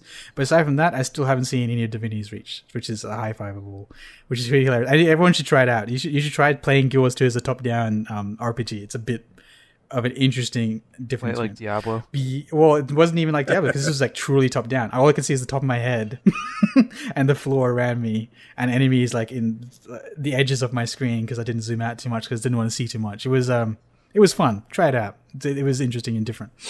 Um but aside from that i pretty much just did uh Kessex Hills, which was uh, so. Has anybody else here done uh, been in Kessex Hills as, as the human uh, fifteen I've twenty I- five? done a little bit of it. Yeah. I did a little I bit of it, completely yeah. got the hundred percent. Well, I say I say a little bit. I've done most of it. Whoa, new 100% of it. So there's a Yeah. couple of things that I'd love to talk about to uh, Kessex Hills before moving on to the next topic, which is our favorite moments for the weekend. Um, one was the jumping puzzle, which we've already talked about. The second was the diving thing. So there's a point in Kessex Hills which uh, overlooks like this this this uh riverside no lakeside town I think it was, and there's if you walk all the way around it at the top there's a um there's a ledge there past some ettins and at the very tip of the ledge there's two like diver goggles on the ground. And we've seen this before. It was in i think there's one in um, lion's arch as well. But it's the first time i did it. Did, did anyone else try diving in guild wars 2 Uh, I did it in L.A. because there's a actually like um, what the hell they're called a point of interest. It's actually like the diving. oh platform, cool something like that. yeah, uh, Yeah, did, you did climb like this i thought it was pretty cool i thought it it. was pretty random and different and fun like you can't take the diving Mm-hmm. go- goggles and go a different direction they automatically unequipped um, But if you grab them, what you do is it replaces your weapon set and replaces it with a couple of skills. I think there's like a turn, and there's flip, and there's, I don't know the names for them, but they make your character do weird, like in air tricks. And you jump off the edge, and then you have to quickly like try to time them right so you make a good landing, or belly, or if you do it poorly, you belly flop at the end. And I think if you do it right and you land it properly, stick stick the landing, um, you get an achievement for it. It's pretty awesome. Oh, yeah. Really? That didn't happen in, L- in LA. At least I didn't. I know there's like a quote unquote diving platform. Maybe I just didn't talk to the NPC. Right. Yeah. No, I'm pretty sure they get, one of us got an achievement. Maybe it might mean like doing a certain amount of tricks in the air, but there is some form of achievement attached to it, and I, I totally recommend people try it out. It's pretty fun. Um, so Nubarama, you 100% in Kessex Hills. Yep. So I, I best guess we could both talk about probably my favorite dynamic event of the thing, which was uh, you, you about halfway through Kessex Hills, you see like this red glowing lava area, right? Oh, like, so the destroyer. Oh, yeah, I saw that too. Yeah. So it's oh, wait. Anyway, so I, I was oh, walking sorry. towards that that area, right? And there's a gigantic wall there, and I'm like, oh, that's kind of cool. So I woke up, and I see the thing that made me shit myself the most not like not out of happiness like it was a happy shit. It was a it was wow. i was so overjoyed to see them. shit um, came out with a the, smile on it? Yeah exactly. It came out in the form of a smile in my pants. Um it, it, was a pixar didn't happen. Uh, well, a tengu. I'm disgusted. And i love the Tengu. I, oh, the Tengu not are, the destroyers, just the Tengu. That's all that mattered to the, you. The single Tengu who is standing above this giant pit of lava. I was there. I was like, yes, Tengu. Oh, he was he was the karma vendor. Yeah, he was he? for that. It was area? freaking awesome. Okay, I, I saw. He was the first part. Tengu I've ever seen um, in Guild Wars Two. And I walked up to him and I talked to him and I was like just tripping balls the entire time and just like totally enjoying it because after I saw him, I looked behind him and looked closer at that wall.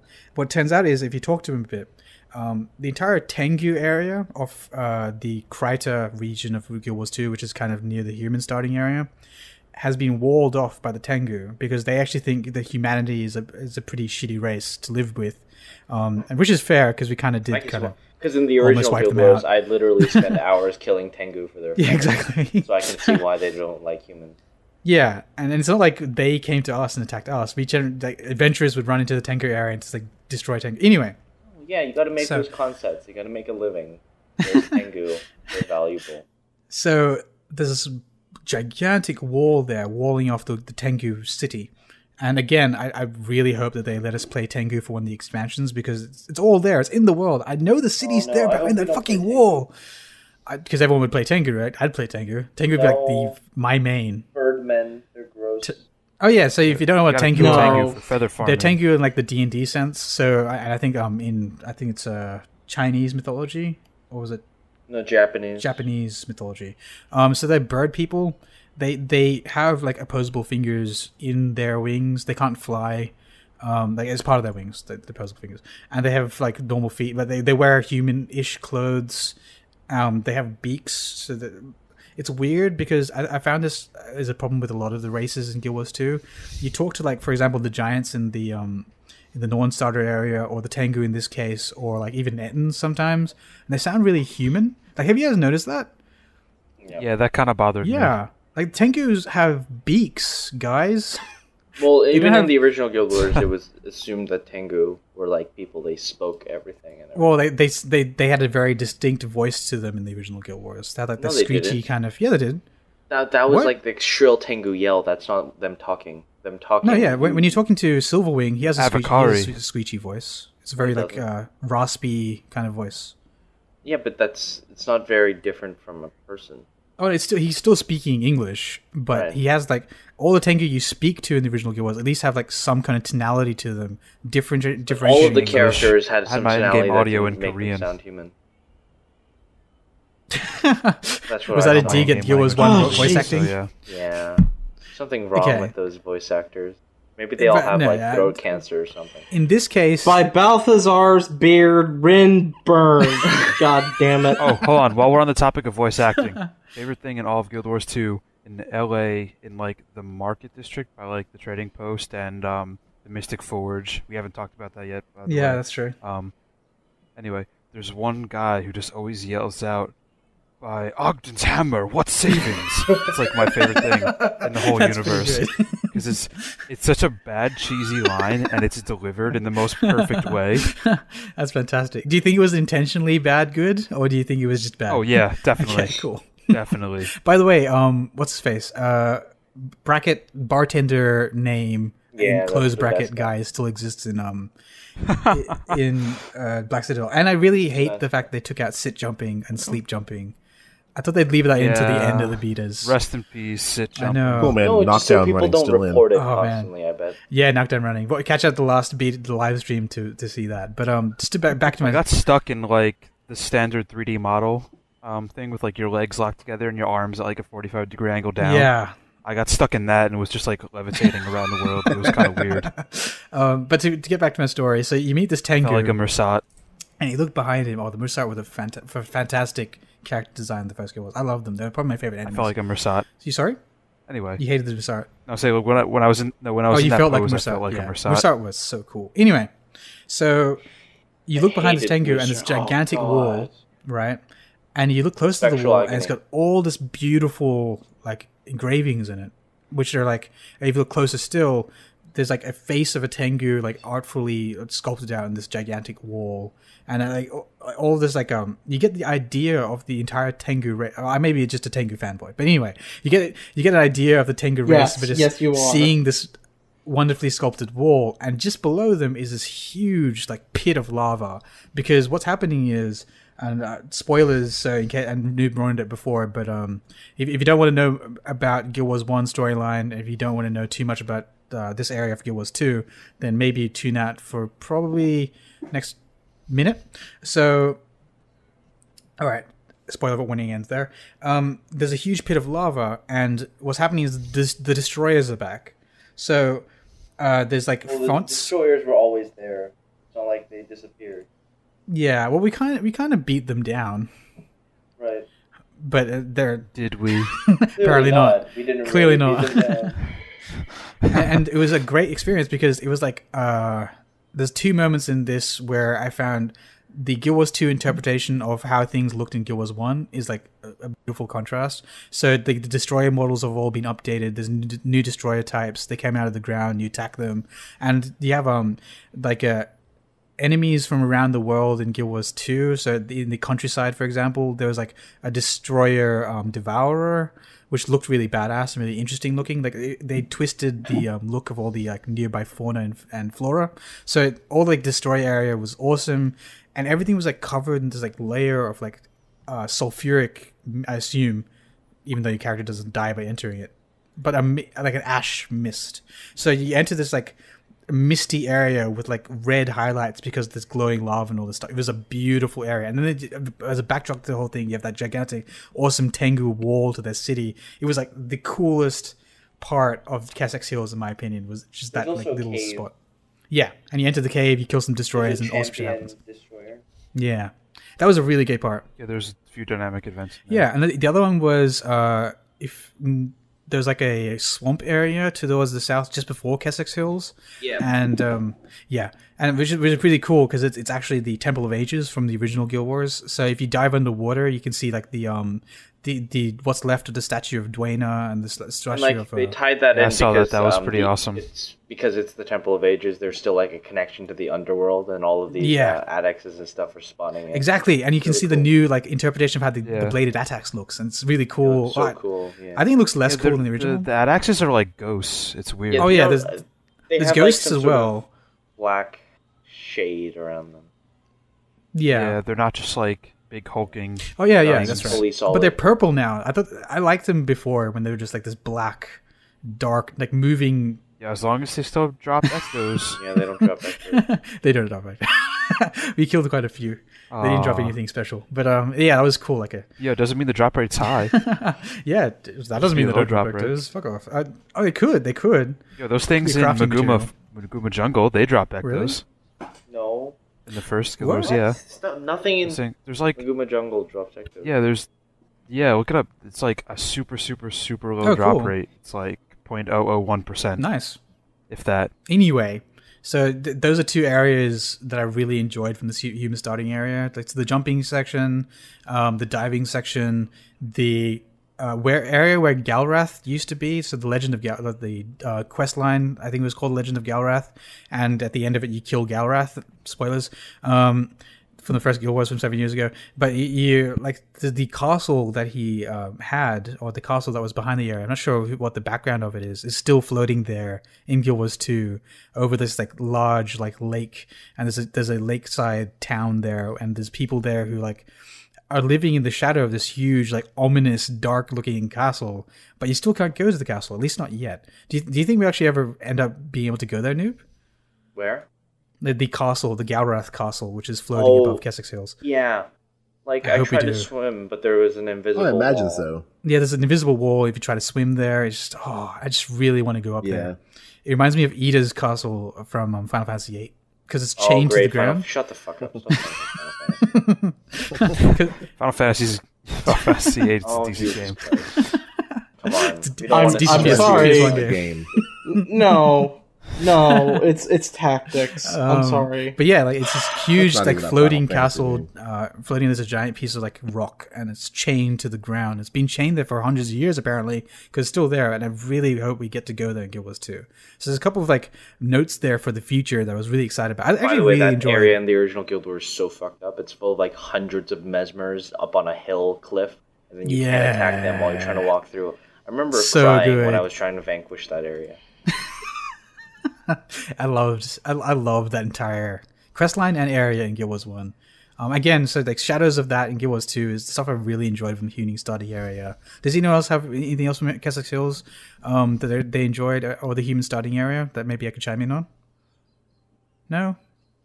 All right. Not Oh, really. I mean, okay, it was, there- it was it was fun. was- I mean, I just there's nothing really in, in Oh, like God, there's did no you guys one see thing the that stands spaceship? out to me.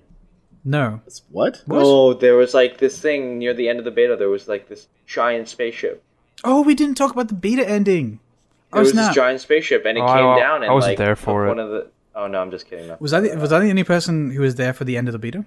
No, I- No, I was there. I went Oh, to you were there. Yeah. I wasn't. It was it was interesting. It was cool. Uh, we might it was talk, better than the first one. I'll say we might talk about it next week. I had work. We'll probably talk about it next yeah, week. Um, yeah, we'll talk about it next week. uh, with, with We gotta. I, want to get at least one more person up. who was there. Probably Tarkin. I'll, I'll probably get him on. Um, so yeah, aside from that, Oh, Kessex Tarkin Hill's could talk awesome. about how fun that Ascalon Catacombs adventure was. Indeed.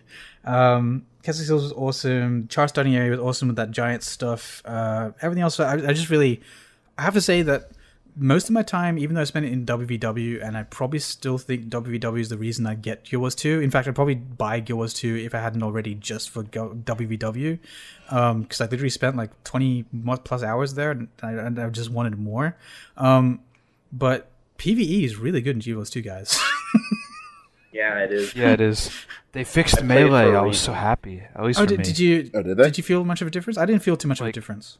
Yeah, like I I went all um, dual pistols in the first beta, and I pretty much played all dual daggers in this beta. Oh wow, I thought it was much better. cool! And this was the thief, right? Yeah, I actually thought, yeah, like I don't know. I sort of had a nice little build going where I had the um the venom that applies Right. poison, and the dual dagger skill, the number three slot is like um, uh, leaping death blossom, so it's like an AOE that also applies three stacks of Oh, wow. bleeding.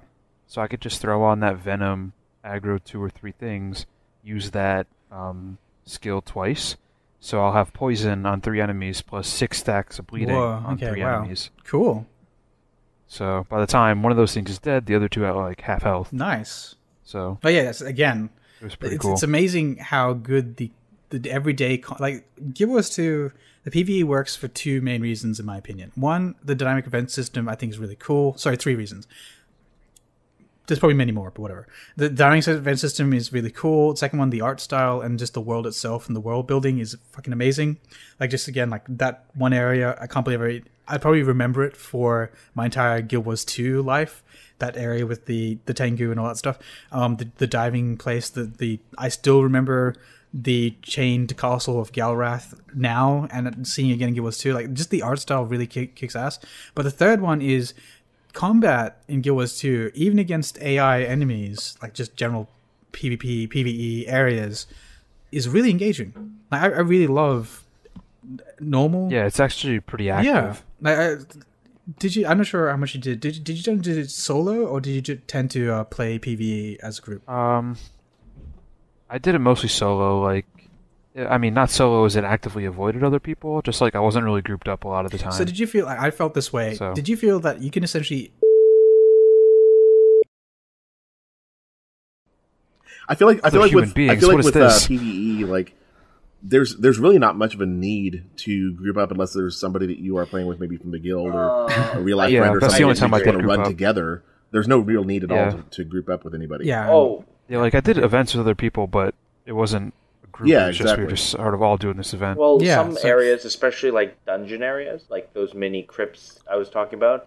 Um, if you're not Mm-hmm. grouped up and like coordinating together, you're gonna end up dying because there's a lot of different puzzles. Yeah, but that's it's not like it's not you're grouping up not to like so you can like share rewards. You're grouping up just because group chat is Yeah. easier. Yeah, It's not really like you don't have to. You can just use local chat. yeah. There's there's really no need needed to, go. But like, I'm, I'm you know I'm looking for looking for a group for this dynamic event.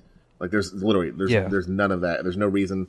Again, like I said, No, unless you're running with somebody that you shouldn't be. know or you're like you know real life friend or a guild member or something, and you're just wanting to keep track of each other easier on the mini map.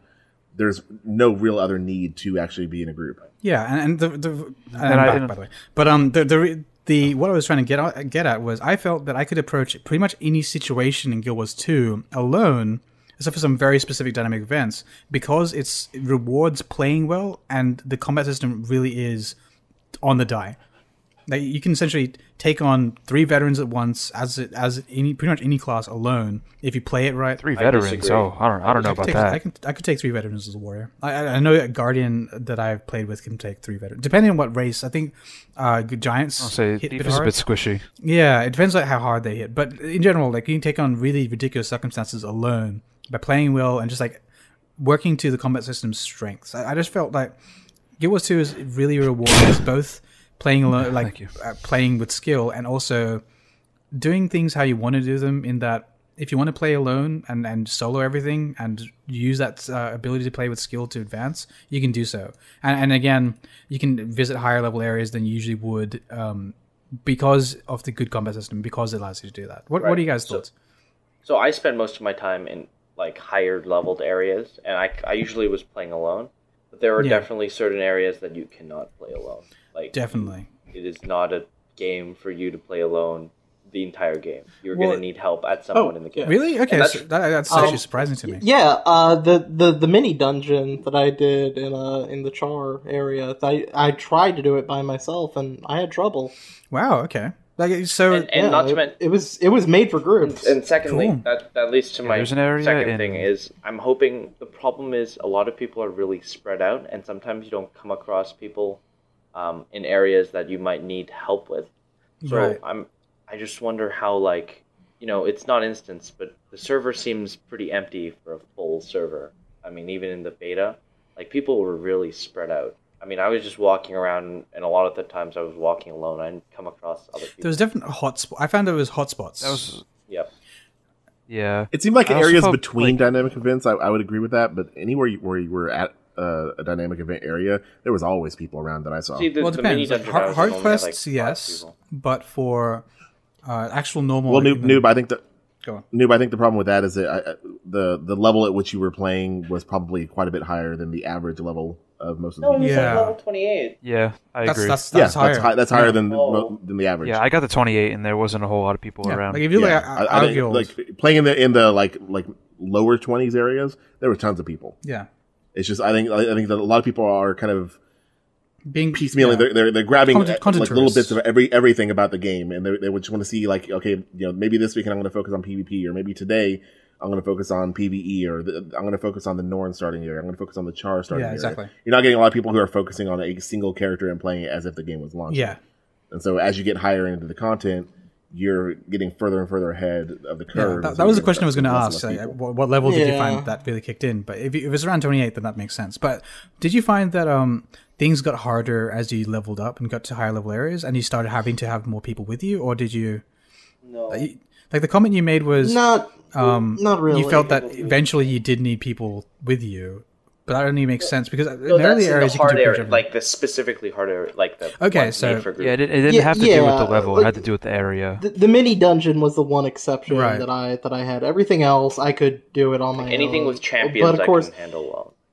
but but of course, I mean, as long as I'm as long as I'm doing an event, eventually people would come along, and then I'd play with them. Right. Yeah. Yeah. cool. So, so it, was, it wasn't a case where, in general, you you start you said um, that you eventually wanted to ha- you thought you needed other people there. That was for very specific events, but most of the time you could just solo, like just to round things out. Would you agree?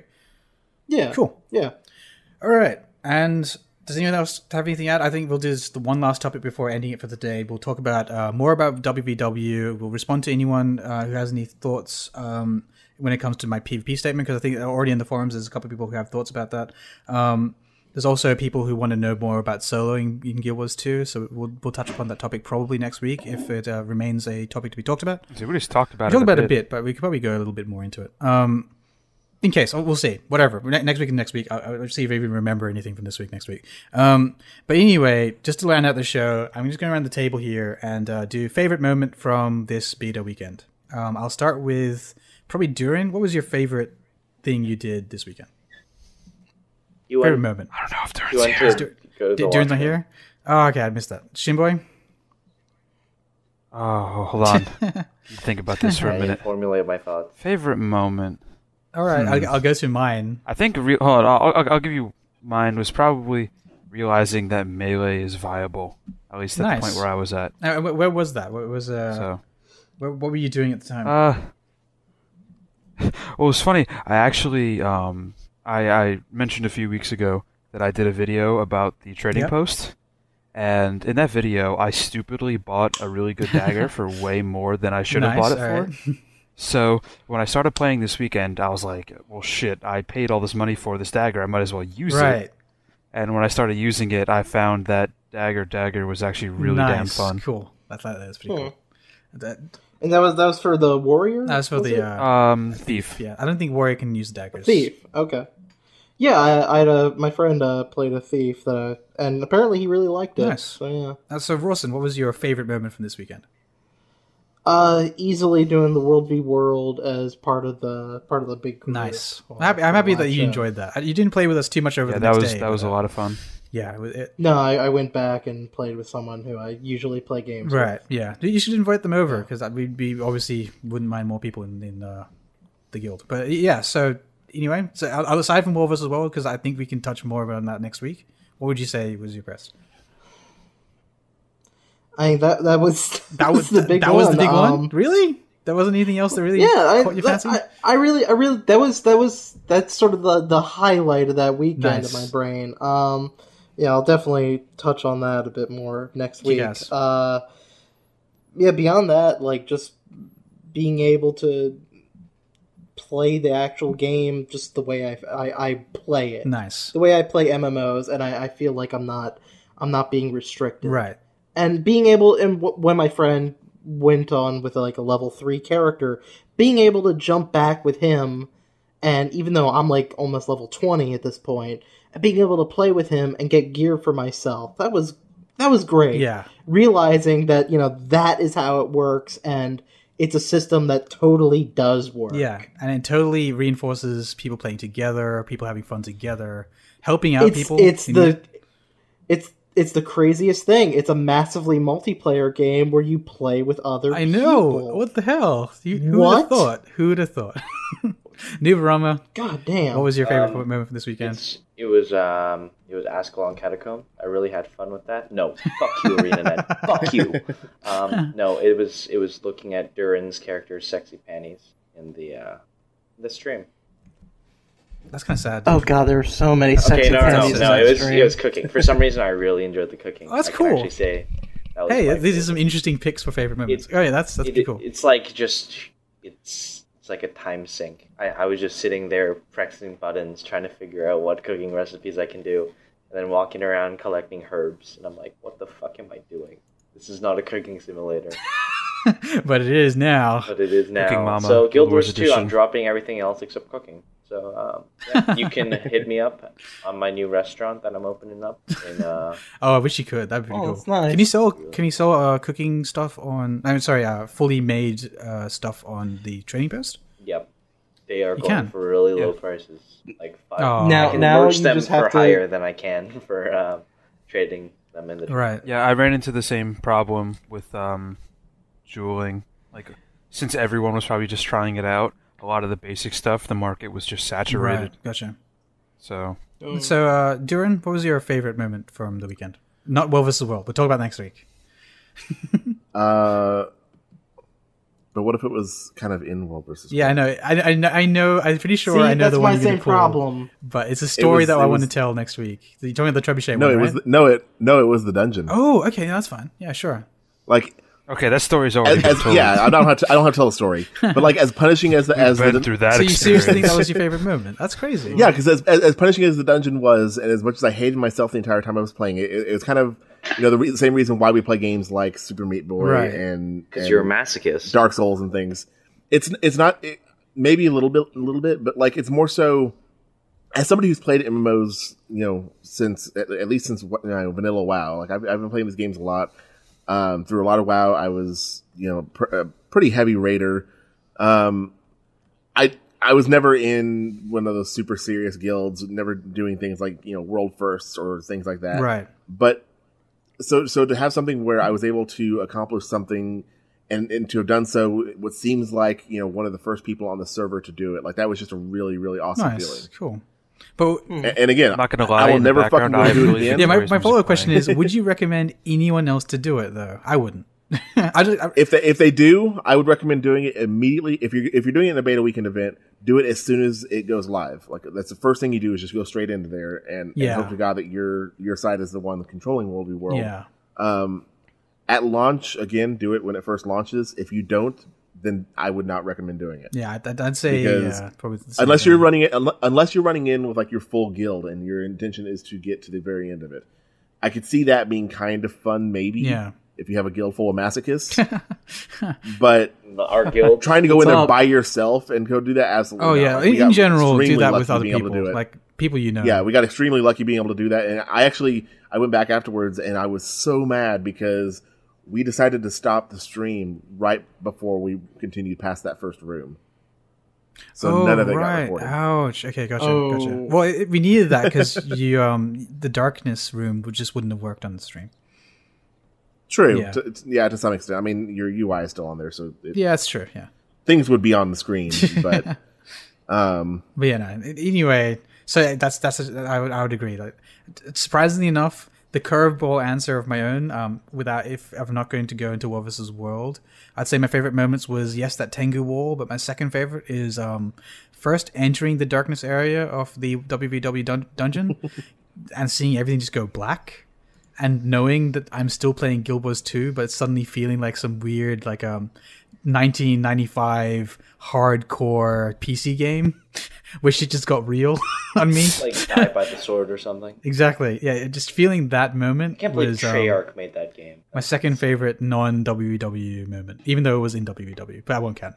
So those those are our picks. Um, does anyone else has anyone not done it? I think that's everyone. So we'll end the show there. Thanks for listening. It's been a long show. It's been what, about three, three hours or so, three hours fifteen. Um, Like, can I plug Oh, my God, yeah. so yeah, we'll, we'll start doing plugs. Uh, you can catch us on the lincolncast at gmail.com if you want to give us any feedback or obviously the two posts. So I make them in the Giant Bomb Guild Wars 2 forums and uh, Guild Wars 2 Guru under explicit the Lincolncast um, in the community section. You can also follow us on Twitter at the Lincolncast. I am Selfconfessed Cynic signing out. Uh, Dourin, do you have any plugs? I'll just go ahead and keep plugging my Twitch channel because Yeah. it seems like people are enjoying watching it now. I'm actually getting more uh, more of an audience lately. Oh, cool. Um, so I'm going to continue the, the Grimrock stuff. And basically, what my, my theme of it is is, and this was in, initially going to be the theme until somebody bought me Grimrock. um, is I'm basically wanting to play through a lot of these games that I have bought on Steam and never played. All right. So I'm just using Steam Roulette to decide what my next game is going to be. So Oh, cool. once Grimrock is done, we're going to spin it again and see what the next game is. Nice. And that's Steam you know, Roulette? like, like was mentioned earlier. Uh, it's twitch.tv slash Dourin. Cool. Wait, is Steam Roulette like a thing, or is that just what you're calling it? No, it's yeah, it's a website. Is that an actual thing? Yeah. Oh, okay. That's you basically cool. put your, your Steam ID in, and it pulls up a whole your whole- whole list of games, and you can go through and remove some if you want to want to remove them because you know maybe you beat them already. Yeah, whatever they're just not installed or. Yeah, you press a button, and then it'll actually scroll through them and randomly pick one out. Huh. Okay, it, that's it, cool. it it just told me use to play Fallout New Vegas. That's a good suggestion. Mine was actually going to be uh, Fallout Three before a friend gifted me Gr- Grimrock because he wanted me me to play through that instead. Yeah, yeah, it's So- such a such a good game. But I'll, I'll do Shinboy next uh, because I know he has something to plug on like the other two. Shinboy, Yeah. Um, my site, plugandplaygaming.com. Uh, I mentioned before a video I did on the Trading Post. Um, we just put our all our E3 thoughts. oh um, cool.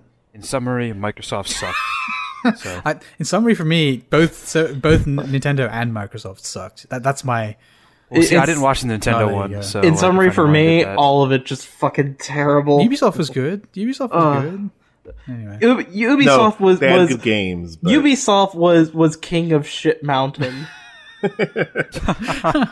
Watch Dogs Watch looked Dogs awesome. looked awesome. Okay, yeah, I guess, I guess that's Watch- the ending statement. Star Wars thirteen thirteen and Watch Dogs looked awesome. Everything else was relatively disappointing. They were all both. They were both no, running. no, no, no, no, no, no, no, no, no. We had Assassin's Creed. 3. Oh yeah, oh, that looked amazing. Anyway, let's not get to E3 too Okay. much. Yeah, let's not get Um, into that. So plug and play We did an gaming.com. entire- wasn't it? Um, yep, yep. And Steam Roulette is telling me to play Dungeon Defenders. So if anyone wants to hit me up and play Dungeon Defenders, just uh, search my Steam ID, which is Shinboy, and All right, let's get to the uh, losers of the team. Sh- Rawson, do you have anything to plug? uh, not this week, but coming up soon. I got something in the pipe. Ooh, fancy. sounds like you're constipated. I, well, I I do kind of have to go poop, but that's let's That's leave neither that here nor there. N- Nubarama, anything to plug? No.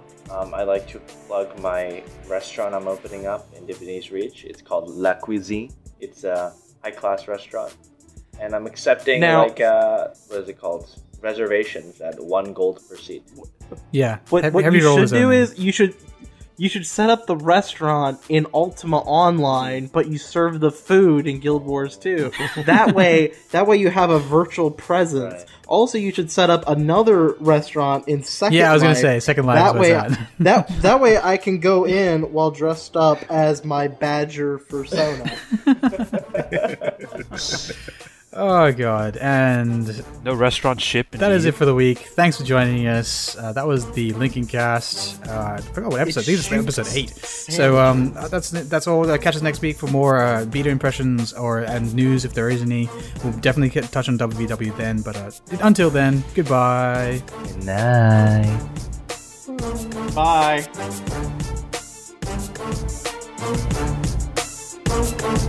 Bye. Thank